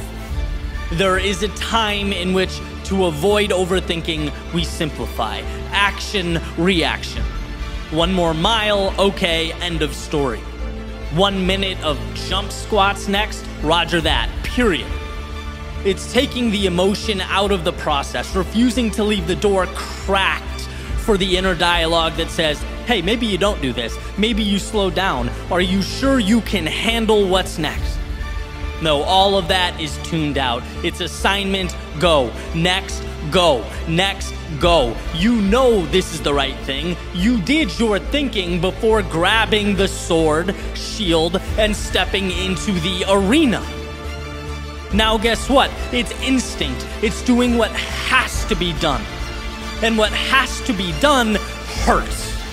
And look, you didn't have to accept that. You didn't have to step in. You could have stayed home, but somewhere along the way, you looked in the mirror and said, The difficult path is the one with the value. And now here you are, face to face with hungry lions, clashing swords with your adversaries. There's no turning back now. Now is when you parse out pain from the objective. The pain is now part of the audience. It's not with you or in you, it's watching from above as you do what you came here to do. So, yes, those swords clash, but the eyes remain focused on what's ahead.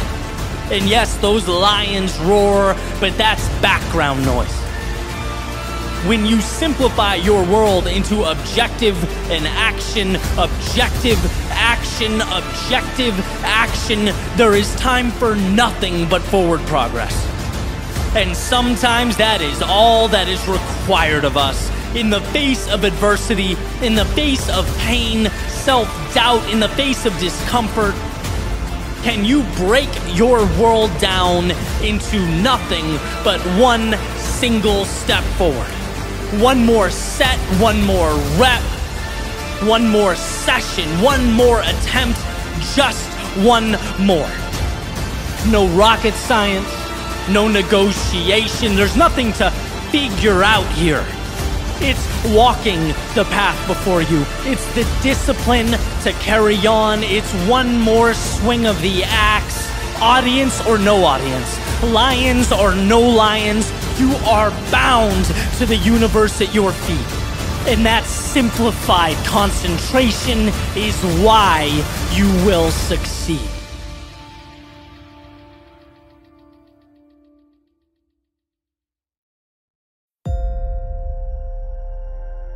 There are always barbarians at the gate. And I mean this in the sense that the second we give less, than our best the second we let up. It's not just that we allow the important things to fade. No, we let the outside world infiltrate our existence. In the History of Civilizations by Will Durant, he said something that I found incredibly interesting. He's talking about the fall of the Assyrian Empire, and he says barbarism is always around civilization, amid it and beneath it, ready to engulf it by arms or mass migration or unchecked fertility. Barbarism is like the jungle. It never admits its defeat. It waits patiently to recover the territory it has lost. In those civilizations Durant speaks of, they knew they were always living with the threat of an attack by outside forces that oppose it, knowing that calm and quiet wasn't the rule, but the exception to the rule. And in its weakest moments, it crumbles. In fact, Durant says societies are born stoic and they die Epicurean, right? Created from discipline, but fall apart when people take what they have for granted, when pleasure and leisure become the standard. It's almost like society is a submarine keeping out the ocean of human nature, constantly putting pressure on it, right? And why does this matter? Well, this is what's interesting. Compare it to this idea that I found in Jim Rohn's collection of lectures, where he's talking about life's concessions. He says even small compromises with regard to your goal matter. Giving in, even a little bit, can be dangerous saying, oh, it's just one time, is a wolf in sheep's clothing. Because it begins the process of the downfall. Plants a seed, it cracks the door for those barbarians waiting patiently outside the gate. The ones who know discipline is not guaranteed. Discipline is built, manufactured, it must be protected. It is the exception to the rule, and they are chomping at the bit. Given the slightest opportunity, they will bring it to ashes. And this matters because it's up to you to protect that which is worth protecting. You ever have one of those days or weeks that are insanely productive or enjoyable and you just think, this is great, I need to do more of this, I need to sustain this?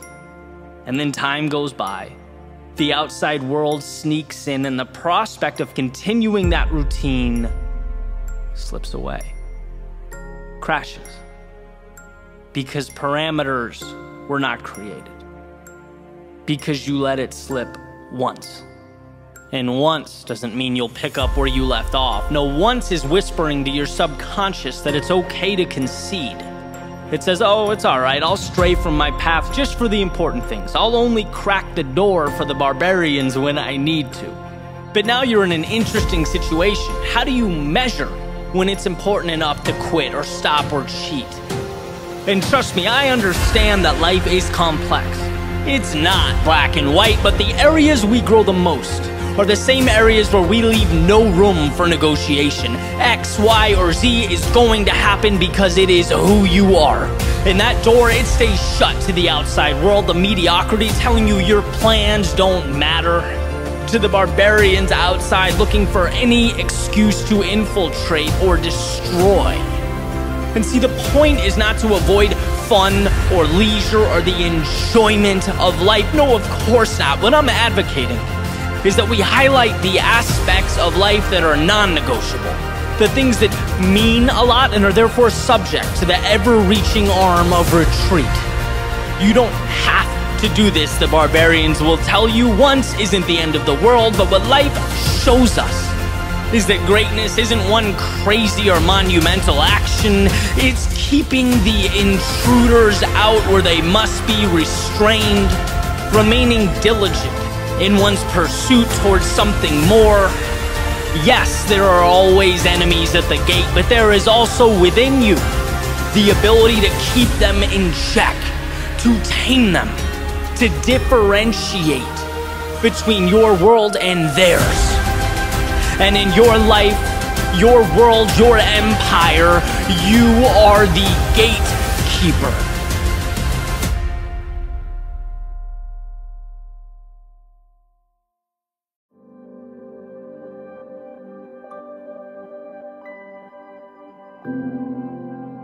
Sometimes the most important things we do in our lives are the product of sheer will.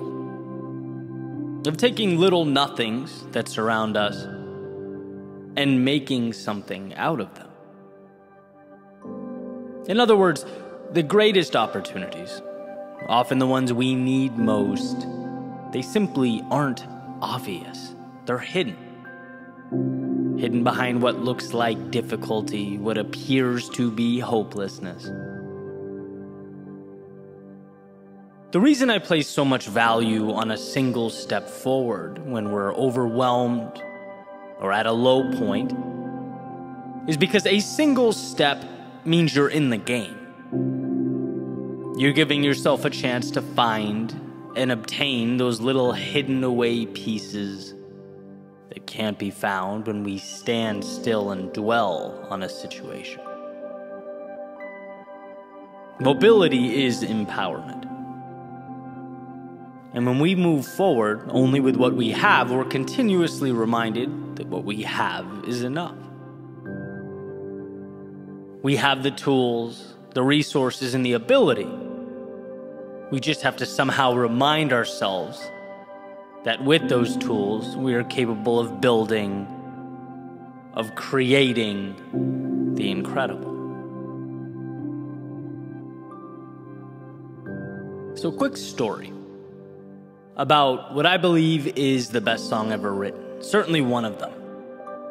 And it's a little bit older now, but in 1998, a band called the Goo Goo Dolls released a song called Iris. And that song changed my life. It was the first album I bought. It introduced me to music. I listened to it, you know, probably thousands of times. And even 24 years later, it gives me chills listening to it. And so I wanted to find out a little more about the song, and I came across an interview from Johnny Rzeznik, who uh, is the frontman and songwriter for the band. And in this interview, the interviewer is asking Johnny about the song. Um, basic questions, how it came out, how he wrote it, and stuff like that. And there's a few points that I think are amazing. I want to share them with you. First is the state he was in prior to writing the song. He just came out of a divorce, personal life sort of in shambles, coming off of a bad record deal where uh, the label from his previous album had done what record labels are notorious for um, and ended up keeping the vast majority of the revenue.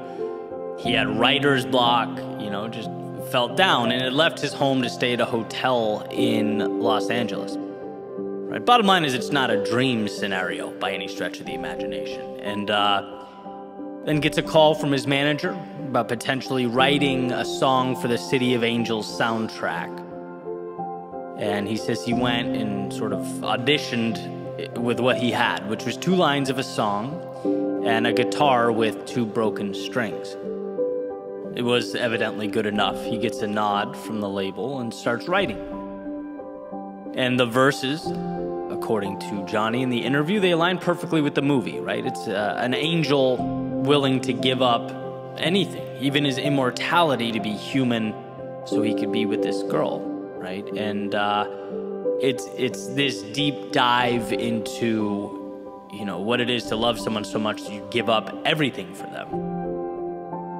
And then, and this is the icing on the cake for me. That's when it like I realized that I wanted to write about this um, the interviewer says essentially, okay, Johnny, the verses align with the movie, but the chorus, this revolutionary, big, beautiful, powerful chorus, it seems to take a left turn. Like, can you explain that to us? What were you thinking? And he just kind of pauses blankly for a second. And I'm thinking, no, don't you dare say what I know you're about to say. And sure enough, he does. He basically shrugs and goes, I don't know, the words just kind of worked. And, you know, I'm paraphrasing, that's not a, a direct quote, but that's the idea.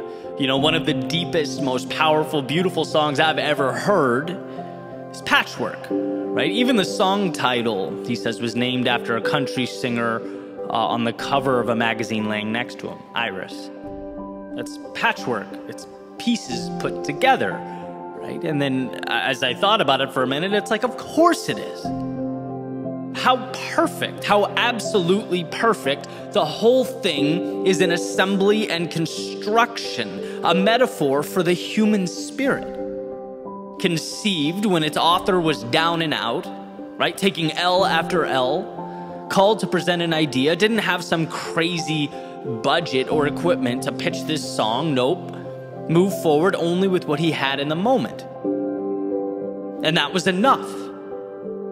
Then the song, a beautiful depiction of, uh, you know, the movie's theme combined with elements of real life, his personal situation, what he goes through, maybe even components that mean nothing other than an ability to encapsulate a feeling or an emotion. Words that allowed him to put a bow on all these little pieces himself and get it out the door. And millions and millions of people listened to that song and were changed by it. Not because of what it meant to Johnny, but because it gave them a chance to take it and fit their own worlds and struggles into those same lines. It became a vehicle to inspire others to push forward, to find things in themselves they didn't know were there. This has become one of my favorite metaphors for finding the hero buried deep within yourself. Changing your life, changing your world, changing the world around you, the lives of others can truly be, and in fact often is the result of just moving forward with what you have.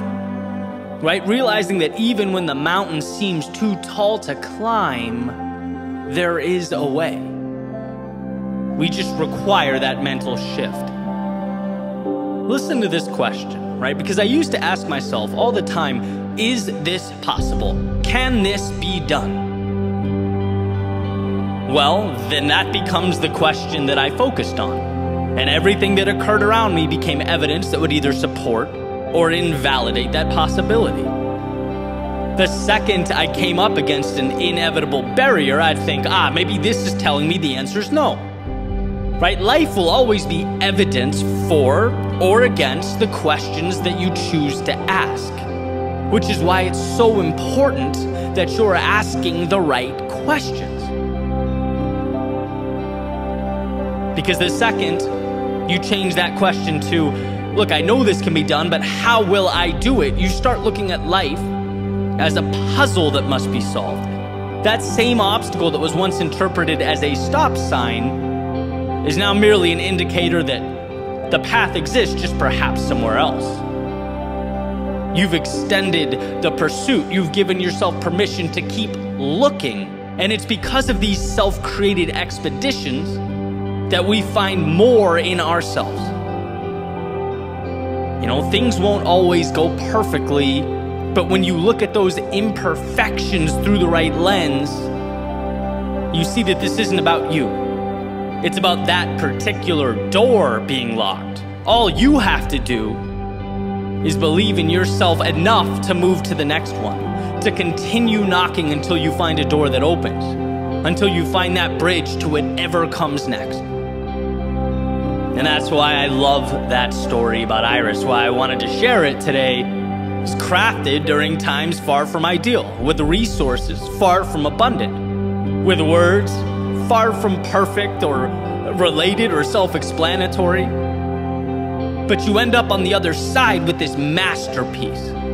This song that certainly changed my life and definitely impacted many others. And it's like we have to realize when we're sitting on the edge of the bed you know, maybe it's not divorce or writer's block, but whatever it is holding you back, that's not the end. It's your reason to keep going, to begin again. You don't have to know how things will be, but you do have to know how they won't be. They won't be like this because you won't let them stay this way. And maybe it's not two written lines and a broken guitar. Maybe it's moving forward when your strength is not at a 10 out of 10, when you don't really have that spark, or you're longing for some resources, some finances, wondering where they'll come from. But pushing forward one little step at a time until things start making sense. And maybe it's not a combining and restructuring of song lyrics, using your personal experiences to fill the gaps on the paper before you but it's trusting that your own story will ultimately tell itself if you don't put the pen down. That the heroes will rise, the villains will fall, and the adventure will continue on. After all, that's what life is. One giant adventure, testing us, pushing us, and transforming us when we're at our lows, while reminding us during the good times why we're lucky to have been gifted that same adversity we once looked at with contempt. Why we're lucky that when everything's made to be broken, as the lyrics suggest, we get to make something imperfectly beautiful with the pieces.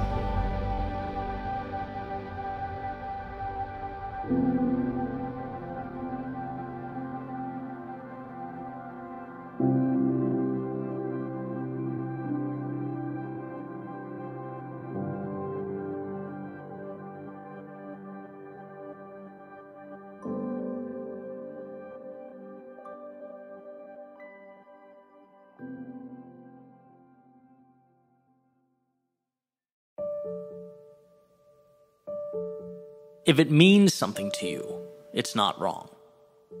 I'm talking about different roads, going to different places, different ways at different times, none more or less important than any of the others. It's an amazing thing that a perfect life can mean something so different to each and every one of us. You know, I get asked quite a bit about my decision to do what I do, as far as what prompted the journey, the process of turning a page, beginning a new chapter, and in essence, leaving what didn't serve me to pursue what does. And what I realize is that a lot of these conversations are with people that have an outlook very similar to mine, right? We value a lot of the same things. But there's a distinction between what you see every day and what truly reflects reality, right? Is what's around you the only option? Is it the real deal or is it a part of the puzzle, right? Like if you look at Twitter, for example, you have 20% of uh, Americans supposedly use Twitter. And of the conversation on Twitter, 80% of it comes from 10% of the users, right? So it's a subset of a subset. But how easy is it to open the app and think that's a reflection of the world and how people think and what's going on? It's not. It's a very small fragment. And the reason I, I, bring it up, the reason it's important is because we tend to look at what we see around us as the right way or the instruction manual.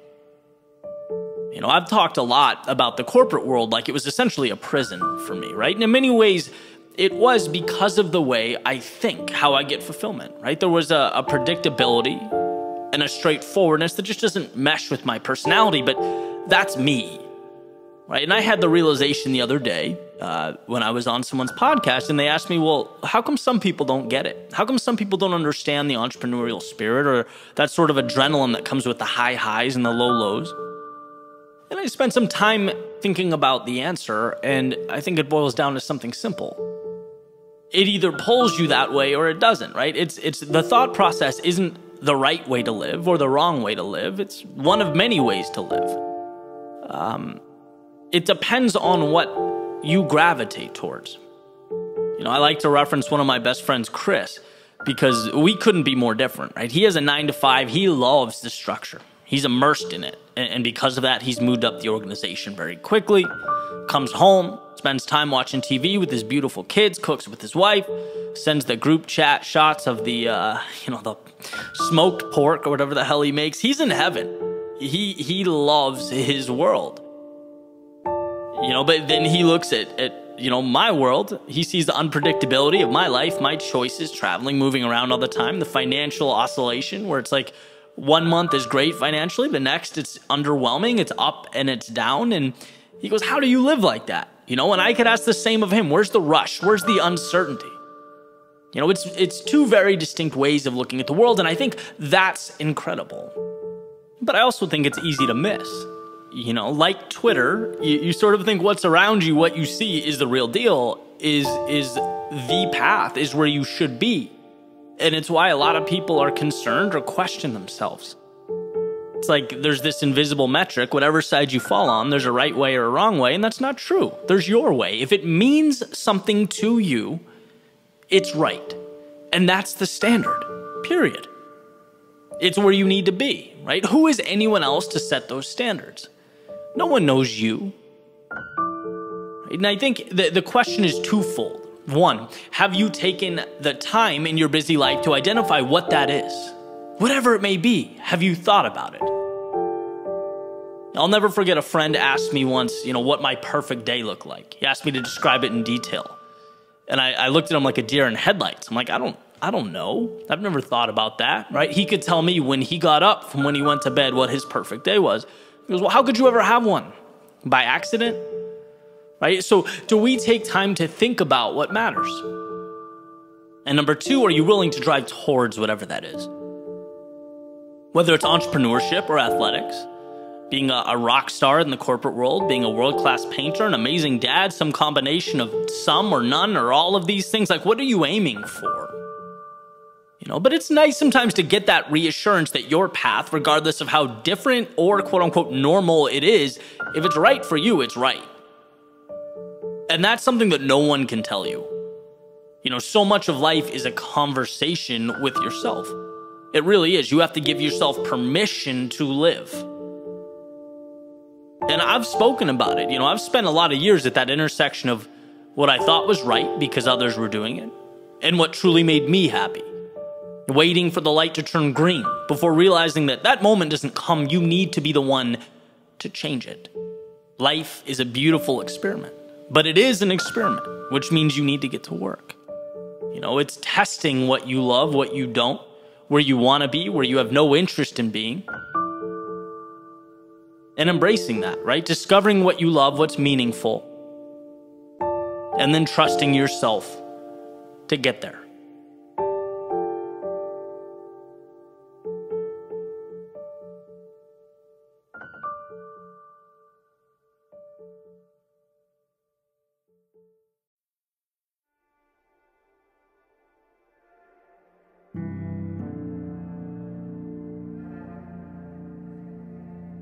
She had a picture framed on the table that said, Make today amazing. Placed there to remind her just how much of life is a choice, how much we get to decide. It symbolizes that on our worst days, life hands us lessons, and on our best days, the highs of existence. During our low points, currency, and during our high points, the chance to cash it all in. Yeah, make today amazing. Because today's are few and far between. Today's are not an inconvenience, nor an obligation. Today's are what it's all about. Today is the big show. The answers we look for, the destinations we long for. Today is a place of dreams. That is, if you choose to leave room in your world for dreaming. Today is the beginning of wherever next is for you. A chance to see the new and normalize it. To stretch, to reach further out and pull impossible a little closer into your orbit. You can do that. And while one often can't control what they are given, they can control what becomes of what they are given. Like architects and designers engineering what will be and what the malleable world around them will become. When one raises their standards, life seems to accommodate. Because believing it means acting the part, means making the changes, means the external world makes room means your identity is reinforced, and so the cycle goes. By making today amazing, you are making yourself more. Decisions are the beginning of all things. See, very rarely is the tool in and of itself the differentiator. It's the vision that pulls us through. And if you take something arbitrary, say a, hammer, there's no way to, based upon its existence, determine what it will mean or what will become of it. A hammer can be an agent of chaos. It can smash and shatter and destroy. It can be the thing used to tear down. Or it can be what builds. It can connect it can alter and redefine so that something, when all is said and done, is brought into an existence that never was. It was never the tool. It was how the eyes viewed the tool. It was the vision that designated the roles that made today amazing And the reason we all need this reminder, as far as I can tell, is because the difficult things just so happen to be the meaningful things. Because we are fighting not against some little rule or idea we picked up along the way, we are fighting against our DNA, against thousands and thousands of years of evolution because the fear that kept our ancestors alert and alive now in a totally new world keeps us contained and our talents minimized. The approval of others that kept us safe and secure as we once traveled the landscape in small groups, hunting and gathering, well, now it keeps us needlessly looking over our shoulders and craving acceptance the unknowns that kept us out of the dark cave with the predator living in its shadows, now keeps us confined. looking out at life's potential through self made windows.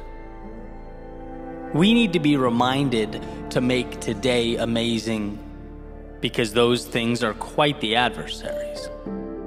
Because our default is to just let the ship sail. Our default is to simply survive. After all, that is the standard and the rule by which living things abide. Make it another day. But I believe you are more than a living thing the godlike ability to not just exist in a world, but create new ones is a miracle, both a blessing and a responsibility. To drive towards a more fulfilled you, a happier you, a healthier you, a more complete you. But one must first become aware that around them exist the pieces required to build something never before seen. The vehicle to those far off places that were once only dreams, thoughts, illusions. I've always believed that if it means something to you, it's not stupid, it warrants exploration. For even if the thought doesn't end up being all it was cracked up to be, even if it's not the destination, but only a stop along the way, it still pushes you to the next thing and the next thing and the next thing. It still moves you forward in this beautiful game of life. So decide. Decide to make today amazing. Choose to make it better. Let the obstacles lift you up and the momentum carry you towards something meaningful when others stop and find reasons to doubt themselves? How about you find the small win buried, tucked away underneath it all? The little key that may do nothing more than get you through that next door. After all, sometimes that's what life's about. Picking up your head when it's most difficult and finding the next door to walk through. And the magic is knowing you can always do that because there always exists both the doorway and the key, but we must be willing to find it. That's the obvious thing about those doors. The right ones will open, but they require we find the strength to approach them. They require that we seek out amazing. And so, with this in mind, what is the next chapter like for you? Are you currently enduring one of life's winters are you navigating those inevitable valleys of despair, in which the value is in finding that single ray of light amidst the storm? Looking within yourself for the courage to take one more step forward, and another and another? Are you seeking out that spark that will reignite the fire in you? Because it's there. So long as you choose to make today amazing. Maybe you've climbed yourself out. Maybe you're looking for whatever's next, the new evolution. Seeking to follow your heart and continue the beautiful progression that is life. Let the external world support that vision. Choose to see the detail not as trivial, but as the answers. The tools that will lift you up and support what you are building, it's there. She had a picture framed on the table that said, Make today amazing. Placed there to remind her how much of life is a choice. Because in a world of options, what a gift to choose the journey of a lifetime. What a ride that awaits, so long as you decide to step in.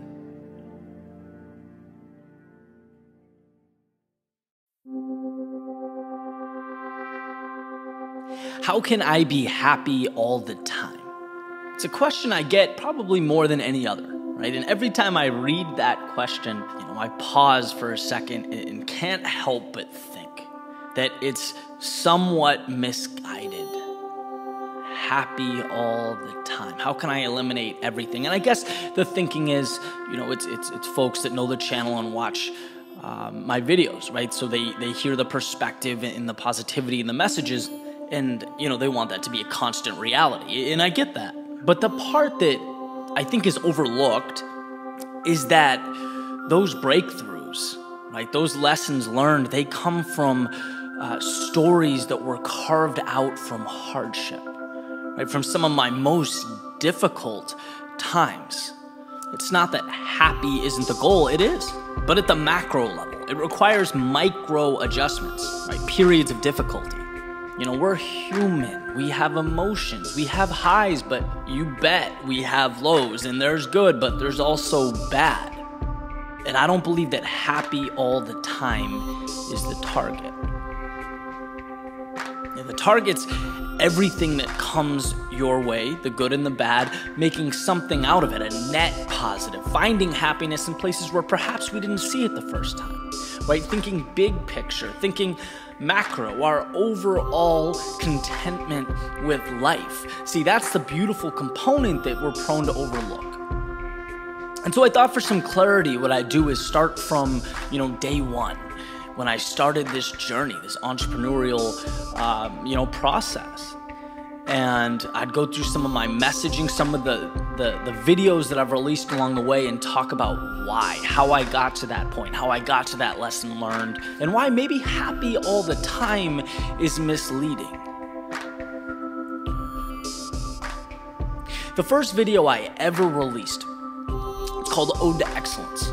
And essentially, it's about, it's a promise to myself to never quit, to never give up, to never back down, no matter how difficult things get. And I wrote that uh, after my first true entrepreneurial project. I was on my own for the first time and love music, right? Music's always been sort of the backbone of my creativity. And I thought, you know what I'm gonna do? I'm gonna put everything aside. I'd saved up some money. I'm like, I'm gonna record an album, an acoustic album. And that's what I did. And, and I blocked off the world, and for three months I wrote songs and recorded them and edited them and mixed them and mastered them. Um, put them all on CDs. I sent the CDs to radio stations, clubs, bars all around Boston. I thought it was gonna, you know, be this life changing thing. And it was, but not in the way that I thought. The CD got no traction, right? Family, friends bought it, were very supportive, but, you know, that's really where it ends. And it was the first time in my life, truly, I'd given everything for something and gotten no response. It was the first time I realized that effort does not always equal a result. But here's why it was the best thing that ever happened to me.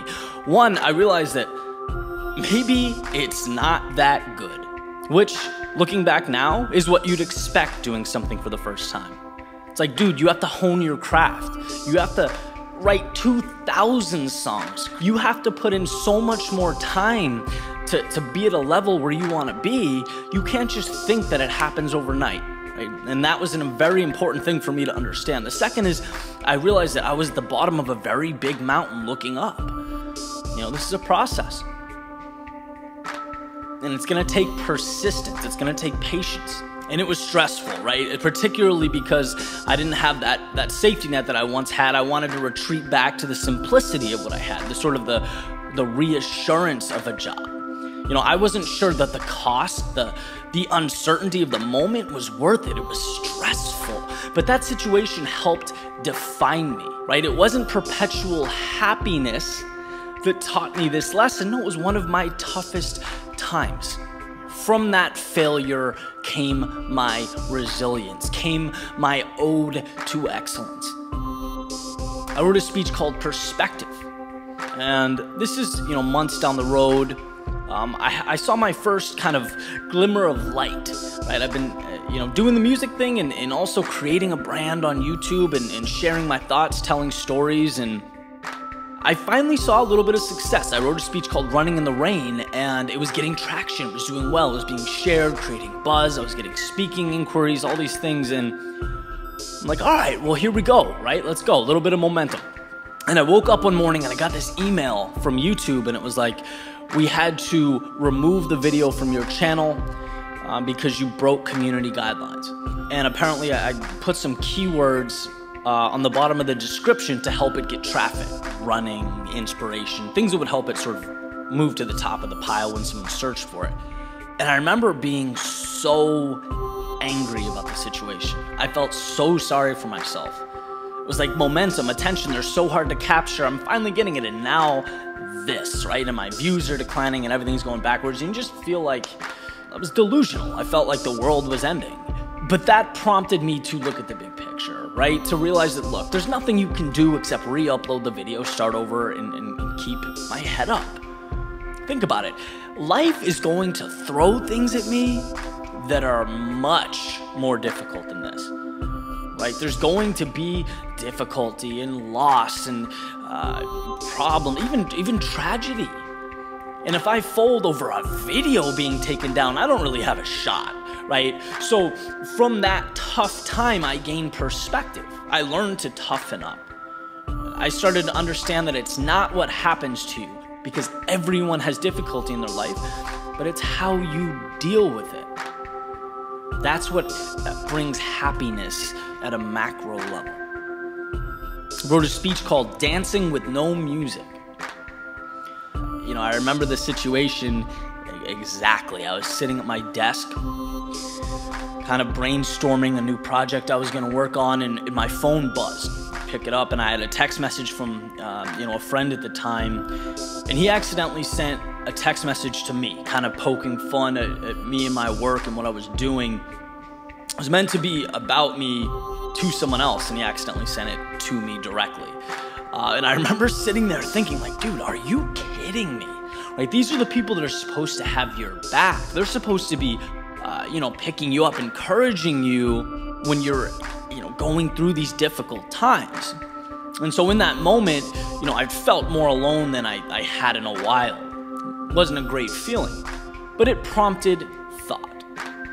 Thought prompts perspective, and I began to realize, you know, look, it's not his fault, right? People don't see, you know, the world as it can be, right? They don't understand your vision. They see now, not your idea, not your potential. They see now. And if you want to bring that to fruition, you have to separate the negativity, separate the people that, that do that and think like that and say those things and live life like it's already there, like it's guaranteed. And so, from that difficult moment, I learned that I need to dance with no music, believe in myself, see it before it's there act like I already hear the melody and I'm moving towards it. That's the only way to push through that cloud of chaos into the result that you want, that you so desperately want. I wrote a speech called The Last Train Home. And at this point, uh, I'd been working hard to, to build Your World Within for, I don't know, maybe a year at this point. One of my greatest struggles was that I continued to feel the pressure to adhere to standards that I didn't personally believe in, right? I was restricted by benchmarks that they weren't integral to my journey. And so, you know, before working for myself, it was trying to impress my boss and, and you know, the idea of promotions and goal sheets. Then it became, you know, comparing my style to those around me, to people that have found success in some capacity. And I even remember, you know, running at 2 p.m. and feeling guilty because all those people doing quote unquote the right thing, they're working in an office, right? They're not, they don't have the luxury of, of running downtown. And like that was my mindset. And so I fell into the temptation of viewing uh, precedent or like previous success stories as, as not just a tool, but as the singular way to reach the summit. And so I was continually zigging and zagging, you know, here's the here's the shortcut or here's the the method, here's the strategy. I need to incorporate this and this and this. And every time I diverted from what felt true to me, I stumbled. Every time I left my path for someone else's, I became lost in this cloud of confusion. And it took, you know, that reoccurring experience um, for me to finally understand. You know, it was from those times of disarray that I began to see the significance of patience. That it's okay, It's okay to take my own train. Even if it's the last one to leave the station, don't panic. Don't do something you don't feel is true or right. Believe that your train is there, it's waiting, and you will catch it. That's a very difficult thing to do. It's not a happy experience, but it evolves into this freedom, right? This flexibility, and ultimately this satisfaction with life that wouldn't be there uh, if you didn't seek it out, if you weren't patient enough to find it. I wrote a speech called Remember Why You Started. Hands down, one of the toughest transitions of my life. And I was in a situation that, on the surface, wasn't bad. In fact, you could say it's good. I was surrounded by beautiful people, beautiful relationships, in a good place that I liked. But I was coming to the realization more and more that the situation wasn't conducive to me creating what I felt like I wanted to create. I'd sort of lost track, I've lost that fire, that energy that I had when I first began. Um, and that's due to concessions, to small compromises that I was making along the way that add up. And you sort of slowly lose yourself a little bit at a time. And when you make that realization, it's like, well, you have a decision to make. You know, are you okay 30, 40 years from now with sacrificing the thing you wanted to build because something else was more important or other things, uh, you know, took priority? And I don't think either one is right or wrong. It's the question that you have to answer. And I made that decision. And I packed up, put my stuff in a trailer, and, and I left. And I, I remember as, you know, my world faded away in my rear view, thinking like, this is the hardest thing I've ever done. I didn't believe for the first 200 miles I was actually going to go through with it. I really didn't. And eventually, you know, I arrived at a new place and I made it my home and dedicated myself fully again to what I believed and to what I felt right, truly in my heart in doing. And I felt that energy, that fire sort of reemerge. And you know, right? You know, you wake up and it just feels good. You have this, uh, this passion that's there um, that you want every day, that you want to maintain, that you want to drive you. And I knew, I knew it was the right decision. But that wasn't born out of happiness. That wasn't born out of the easy thing. Um, it was very, very difficult to get there. It was almost a, a, a battle, right? You have to fight to reprioritize. And so this comes up a lot when I hear that question How can I be happy all the time? And it's like, well, you know, you can do the easy thing that's easier in the short term, but then will you be happy in the long term? You know, it's sort of a catch 22. It's a, it's a prioritization, it's understanding what makes you feel alive, what makes you feel truly good, authentic. And that's not a question of short term, consistent, non stop happiness, it's a question of long term fulfillment. Sometimes we have to do the difficult things to create what we want long term, big picture. And lastly, I'll talk about Ode to Excellence Part 3, which obviously it's been years since Part 1 right? and, and a lot's changed. The goalposts have shifted, the context is new, but the idea is pretty similar. Right? It's, it's a promise to myself to, to move into uncharted water, whether that's because it feels right, I'm called to do it, or sometimes just for the sake of sheer curiosity. Uh, it's that idea that sometimes what awaits around the corner uh, can change your life. Right? That unknown can be exactly what you need, and you don't know unless you move there. And, the difference in context is that now I'm settled. Right now, I'm, I'm, I'm substantially more comfortable than I was when this whole thing began for me. And the danger in that is nothing's screaming at you constantly to continue to grow and evolve and develop. Right? It's real easy to fall into routine and just kind of keep going the way you've always gone. And I remember sitting right outside talking to a good friend of mine on the phone, and we were talking, uh, you know, strategy, talking about growing our brands, and just kind of the different worlds that we're involved in. And he asked, you know, Eddie, why, uh, you know, have you stopped doing the music thing? I think there's something there. And, you know, I, music's obviously been a big part of what I do it kicked off my creative journey, as I mentioned earlier, with that album. It's been sort of um, you know, intertwined into this process. You know, I write a lot of background tunes. I'm, I, I wrote the background music you're listening to right now. I haven't completely left it, but I've pivoted. And when he asked why it, has been sort of in the background, I couldn't give a complete answer. I, I didn't really know. But as I began to think about it, the answer really rose to the surface. Right? I became uh, so fixated on, on one dimension of what I was doing that I started to look at it through a lens of scarcity and ignoring the infinite possibility out there. I mean, really, in relation to what's possible, my accomplishments are, are, are a grain of sand on the beach. Right? It's very minimal. But that's not how you look at things when you really get lost in the weeds. I didn't want to hurt my credibility. I didn't want to lose what I built. I didn't want to sabotage a quote unquote winning formula. But guess what? That's not what life's about. That's not what my brand or message is about. That's not what got me here, right? Exploring creativity is what got me here. It means everything to me. And, and that was such an eye opening thing. It was such a beautiful uh, reminder that, Ed, you're limiting yourself you're not evolving fully. There's a treasure chest around the corner, and you're too worried about losing your shiny penny. And it was from this predicament, right, being honest with myself, um, that that courage and that determination grew.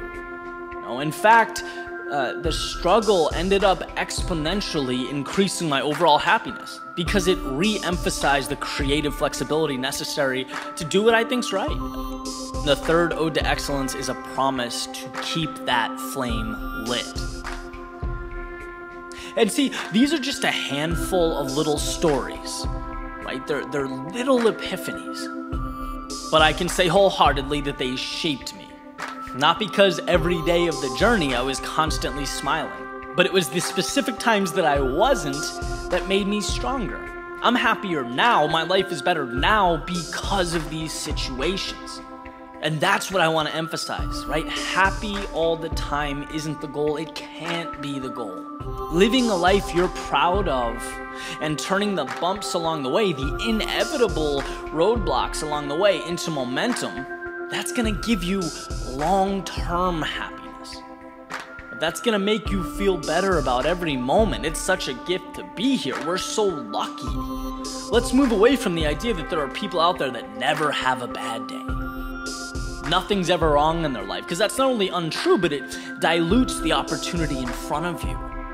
It makes you feel like you're losing when bad things happen, when in fact, those are the tools to win to live every day to the fullest. Right? The reality is, sometimes it, it is the Hallmark card thing, right? Hands out, sun on your face, smiling, humming your favorite song. Life is good. Sometimes it's picking up those little pieces when things feel like they're falling apart around you. But know that regardless, right, either one or anywhere in between, there is positive there. Is power at your feet. Just find it, hold it, and by all means, keep moving forward.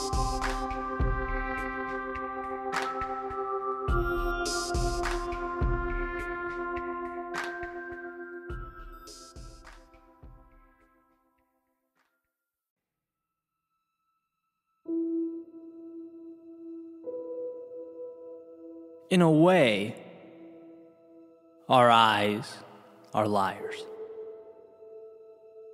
Not in what they portray, but in the implication of their portrayals. Our eyes highlight to us one thing what surrounds us now. We receive a snapshot of the current moment. And what took me years to understand is that possibility and hope live far beyond what surrounds us right now. And it's that pursuit of possibility that saved my life, immersing myself in the unseen. Perhaps we were given the now, not to subserviently uh, accept it, but to transform it.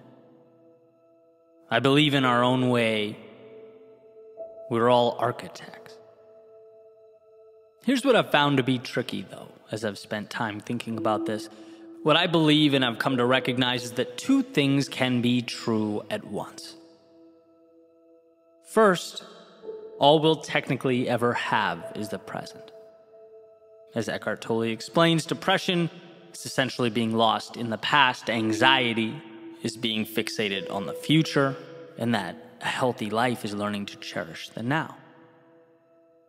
But second is the power and control of being able to point the now at something far beyond what our eyes convey. It's the magic of knowing that we spend our days navigating a world of limitation and restraint.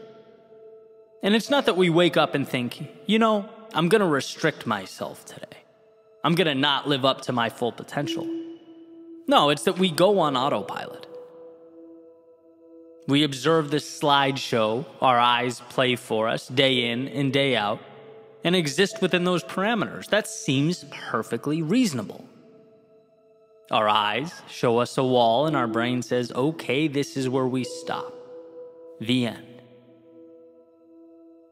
And what I want to highlight is that world just beyond what our eyes show a world that pushes things a little bit. A world in which we ask, okay, but what if I gave a little more? Or why can't I be like those people in my life I look up to? Why shouldn't I change the circumstances that weigh on my mind? Why have I accepted these things that make me unhappy day in and day out? Just because it's the image your eyes show you right now doesn't mean it's where you stop. But we have to learn to look for more.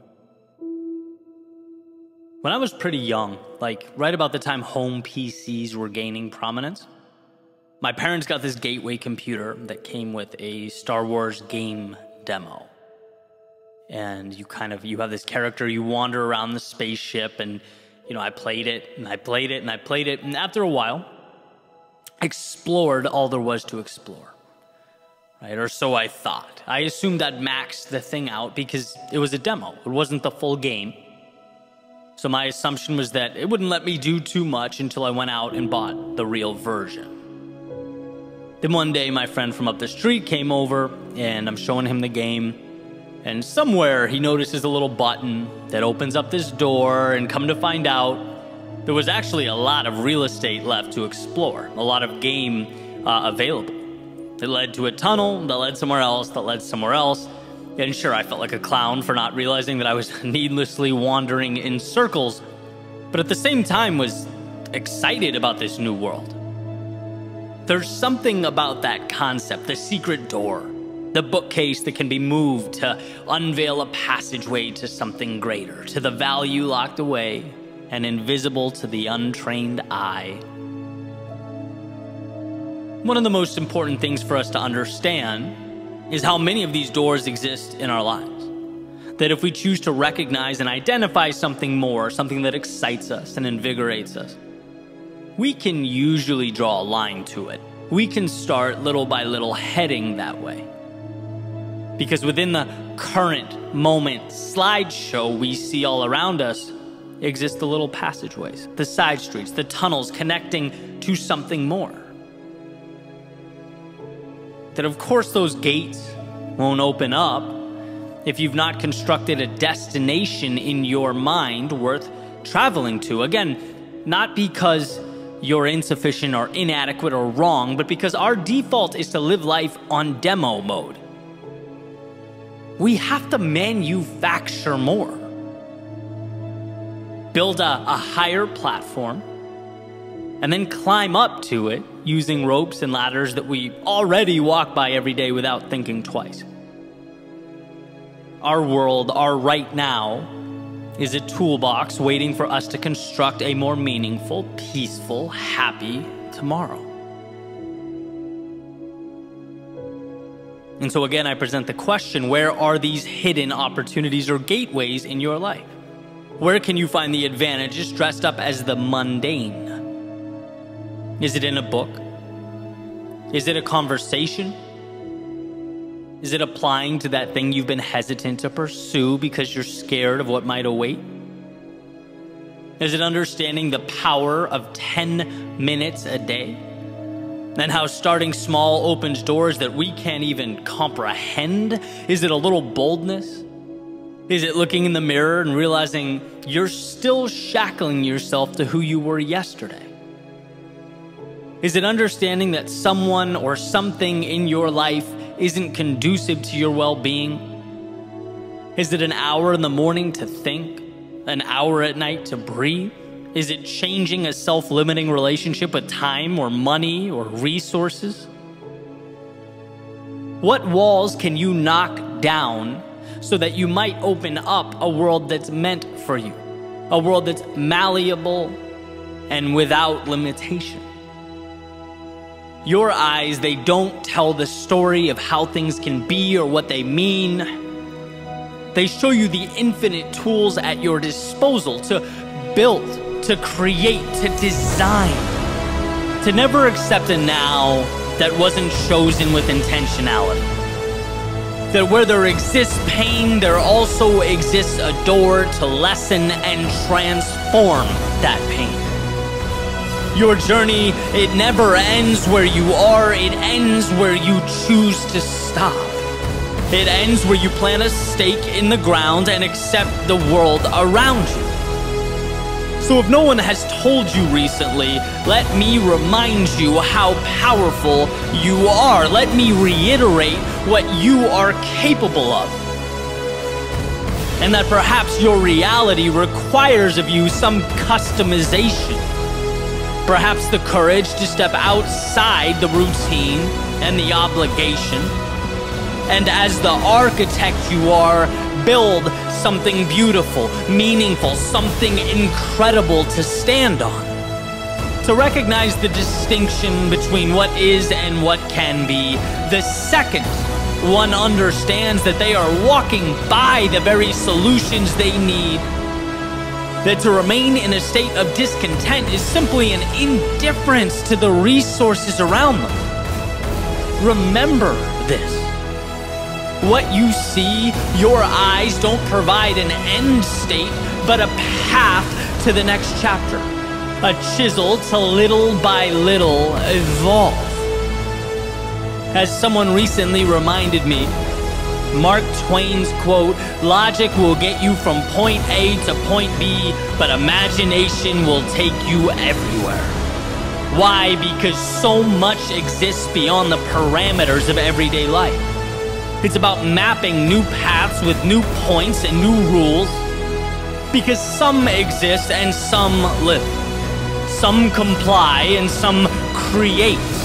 Some see what is around them, and some ask, What can I build with what is around me?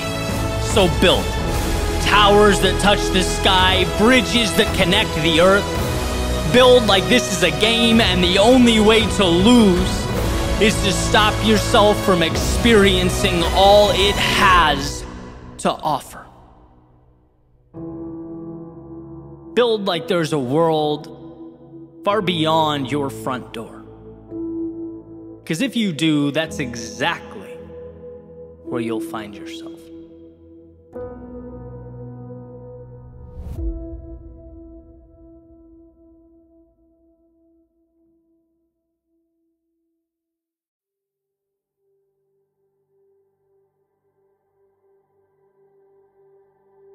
The little E on the car dashboard reminds me that I'm pointed east. As I sit at the red light, perpendicular to Ocean Ave, staring out at the water, this is it. This is as far as I can go. There are no more streets or towns or cities. There can't be any more stops along the way, just miles and miles of ocean. And it's interesting for me to think about all the changes I've made up to now, growing up outside of Los Angeles on the opposite coast, relocating again and again, sometimes very targeted, methodical moves, sometimes just for the sake of change, but always moving, always going. There's a saying that wherever you go, you take yourself with you. Right? You can change the scenario, the circumstances, the surroundings, but ultimately, you can never outrun yourself. You are accompanying you on whatever journey awaits. And it's often not until you run out of real estate, until there's no more road or options, that you're forced to look in the mirror and acknowledge that it is you who must change. It's you who must evolve and become that person that you need you to become. And that can be a scary thing. After all, anyone can get in a car and head east. Anyone can point the compass away from the chaos of now, move away from their demons. But how many of us can find the strength to look those demons in the eye? How many of us can make ourselves bigger than what attempts to weigh us down? All of us can, but how many of us do? Are we running to something or from something? Because there is a difference, and that difference is not small. One of my favorite speakers, Jim Rohn, when referencing our journeys through life, our push to make more of ourselves, he essentially said, It's not what you get at the other end, it's who you become along the way. And I think, like everyone, I've forgotten that from time to time over the years, forgotten that value is not simply in going, but in becoming in the courageous little steps that accumulate over time. Forgotten that the external world might inspire or excite, that change might invigorate the soul, that the road untraveled might remind me of life's beauty, but these externalities are only as valuable as you allow them to be. They're only opportunities if you decide them to be so. Change inspires. But will you let it inspire you to do that thing you know you need to do, but are terrified of doing? And that road, it might remind you of life's beauty. But will you let that reminder be your invitation to share your own beauty with the world, whatever that means for you? Can you be that vulnerable? Can you take that leap in the story of your becoming?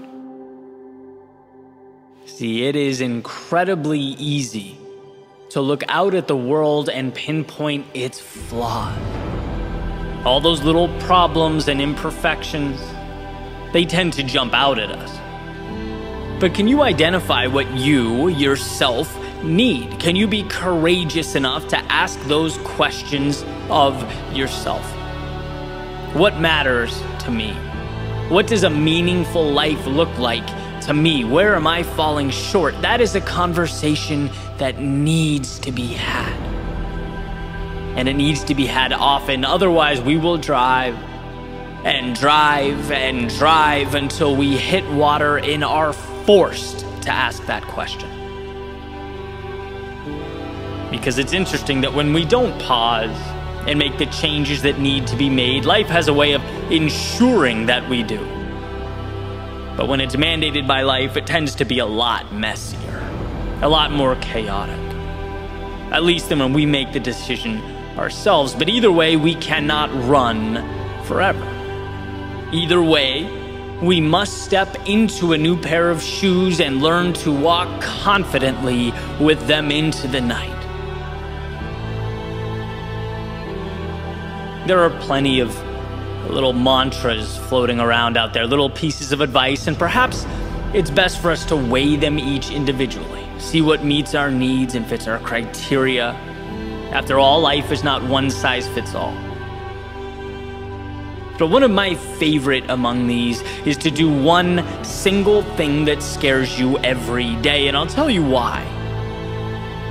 Because when we become conditioned to turning our backs on all the uncomfortable things in life, we cripple our prospects of a better tomorrow. It's synonymous with the seed refusing water, saying no to the very thing it needs most. And what should be noted here, one of the reasons it's so dangerous, is that saying no is incredibly subtle. It's not some big event or explosion. There's no fireworks show that occurs every time you walk away from what you need. No, it goes unnoticed. And again, one of the greatest challenges is quantifying that which we don't do. How do you measure that thing you walked away from? Well, unfortunately, you can't. You can't, at least until you're staring out at the Atlantic with nowhere to run, no more escaping on the agenda. You don't know until you're forced to pick the pieces up and make something of them. And I say this so that hopefully it can ignite that spark in your soul that you need most, whether you previously recognized it or not. I say this to remind you how much bigger you are than your problems, how you have the ability to transform all that exists around you when you transform yourself. There's a certain inevitability associated with how we see ourselves. And I believe this to be true at both the personal and the societal levels. Anyone can look in the mirror and see the past, where they've gone wrong, how inadequate and ill prepared they are. But the courage to look in the mirror and see strength. To both identify and understand one's shortcomings, but know that you have the power to do something about it to know that the times you fell or didn't make the cut, they don't indicate that the endeavor was all for naught or unequivocally wrong. No, there is so much good tied into your pursuit. So much beauty and courage ingrained in your soul. But imagine, imagine a life where you no longer run from the gaps, but close them Imagine finding it in yourself to begin that hero's journey. And where you used to run to protect yourself, now you take the offensive to grow yourself. Where you used to avoid the possibility of failure, now you chase the possibility of victory. You can have that if you want to. You can be that if you choose to. And sure, you may never be able to outrun yourself, but you can always adapt yourself to be that person you always needed you to be. Sometimes we just need the reminder that we are strong enough. We do have what it takes and that the thing that hurts us most in the short term not only saves us pain in the long term, but it becomes what we live for. It is where we find our meaning. And so perhaps this ocean before me is not there to remind me of my constraints that I have no road left, but a reminder of just how often we measure using the wrong metrics.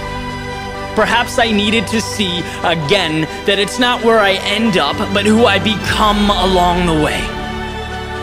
That when the internal self steps into the shoes it's been too intimidated to wear, that when the world within becomes the beacon you need it to be, the roads and the stops along the way, they matter a little bit less than the eyes that process it all, that decide what it means, how it will be utilized in the game of life.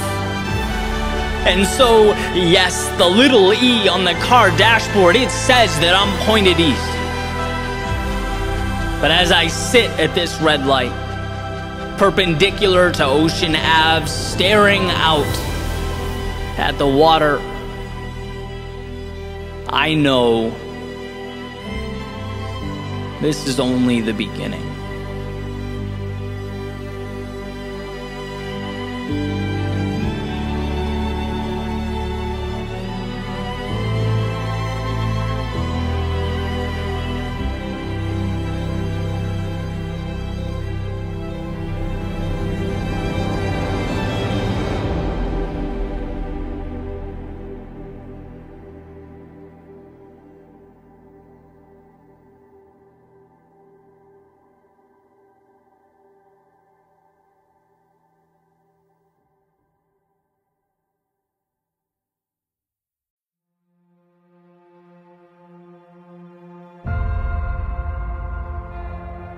Right out of the gate draw a line. The most important line one can draw, a line of demarcation separating who you were and who you are. A line between the past and the present, and this line marks your return. No, not to the days of old, but to step one. Your chance to begin again, to rise above to transcend yesterday's character and transform today's potential. See, what we often fail to realize is that there are ideas deeply ingrained in our minds that rule over us, a sort of subconscious authority. It says, Yesterday you fell short, so today you are someone who falls short. It says your objective was not reached in the past, so, how about a new, maybe easier one? It draws a nice little box, pats you on the head, and says, How about we make a nice, cozy home for ourselves in here? And what this subconscious authority fears most is that you wake up, that you become aware, that you return not to the past, but to the power tucked away under all the stories you somewhere along the way decided were real. The second you accept that yesterday is only as relevant as you decided to be, you unchain yourself. You become unshackled. So return to that place of curiosity where you're not obligated to perform, but gifted with the journey before you. And that could certainly be hard, right? It was hard for me to look back at my life and distinguish between what I've simply accepted and life's objective truths. I'd taken orders and been obedient for so long, I'd been listening to that subconscious authority for so many years that I had to, in a way, relearn what creativity meant for me. I had to learn not to feel guilty going on a jog in the middle of the day when the rest of the world was working. I had to learn that my instinct wasn't to explore, but to stop short. I wasn't pushing limits or peering around corners. I wasn't testing the waters or seeking out the hidden opportunities life hides away. No, I was on autopilot. And life it had called for my return. It's funny how when you reject your potential long enough, the universe seems to tap you on the shoulder. It makes it more and more apparent every day that something greater is within an arm's reach. Backs you into a corner until you have to address the dissonance between who you are and who you've allowed yourself to be, those orders you've been taking don't align with your best self. And so one must not only create, but in a sense return to their greatness, to accept what they've been running from. You are what you choose to be, and let's face it, it's very easy to choose to be less than we can be. There's a saying that your reality is not destined to be, it is rather what you've chosen to accept. You only get in your life what you allow. And the entirety of this message is about one thing that light bulb moment, the epiphany, the instant of empowerment that this world can only give you what you ask for.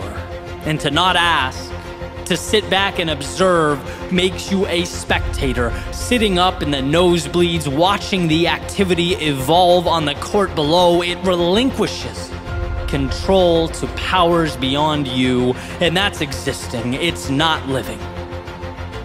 So ask ask life for the things that lift you up and elevate your existence. The reason a book metaphor works so perfectly in my mind is because when one opens to a blank sheet, they can write about anything. There's no limitation to what can be placed on that paper. And sure, our proclivity may be to continue on the legacy of last novel's cast and characters but it's by no means required. In fact, with that pen in your hand, you can craft a new world entirely new places, new things, new relationships and ideas, new obstacles to face and defeat. A blank page can be and mean anything, and so every sunrise, every door you walk through presents in the same sense a blank page. Realize that there's no obligation to perpetuate the past or continue on in the same way you arrived. No, this day is yours. Take hold of that self you've hid away. Find the courage to unshackle yourself from how you were once seen by your friends or your teammates or your coworkers. Level up and understand that you don't owe the world any type of explanation. Remember, you're not here to conform, to obey, to live a life of obedience. No, you're here to poke, to prod, to explore, to follow the nagging curiosity, to embark upon the adventure that is life. When you understand that you are not your past, when you see that the person you were has no control over the person you are in this moment, you are free. So, with eyes wide, a beating heart, a head held high, step into that world. Because if you live with conviction, with absolute certainty, that life may not always be easy or intuitive, but it's there for you. When you see not yesterday's constraints, but tomorrow's hope, all roads lead to an evolved existence. It's not about perfect, and it never was. It's about understanding that the past has given you everything you need to break away from its grasp. It has provided the lessons, it has knocked you back, pushed you down, and tested your resolve, all for this moment. This second the chance to return to the greatness that has been tucked away for too long. Again, no miracles, no rabbits out of hats, just you allowing your greatness to emerge from this step forward because you can, because you have that ability, because it's who you are. So go show the world, but most importantly, show yourself. You will be amazed at what's possible for you. If you simply allow it to materialize. If you, amidst the darkness of days past, let yourself light up the night.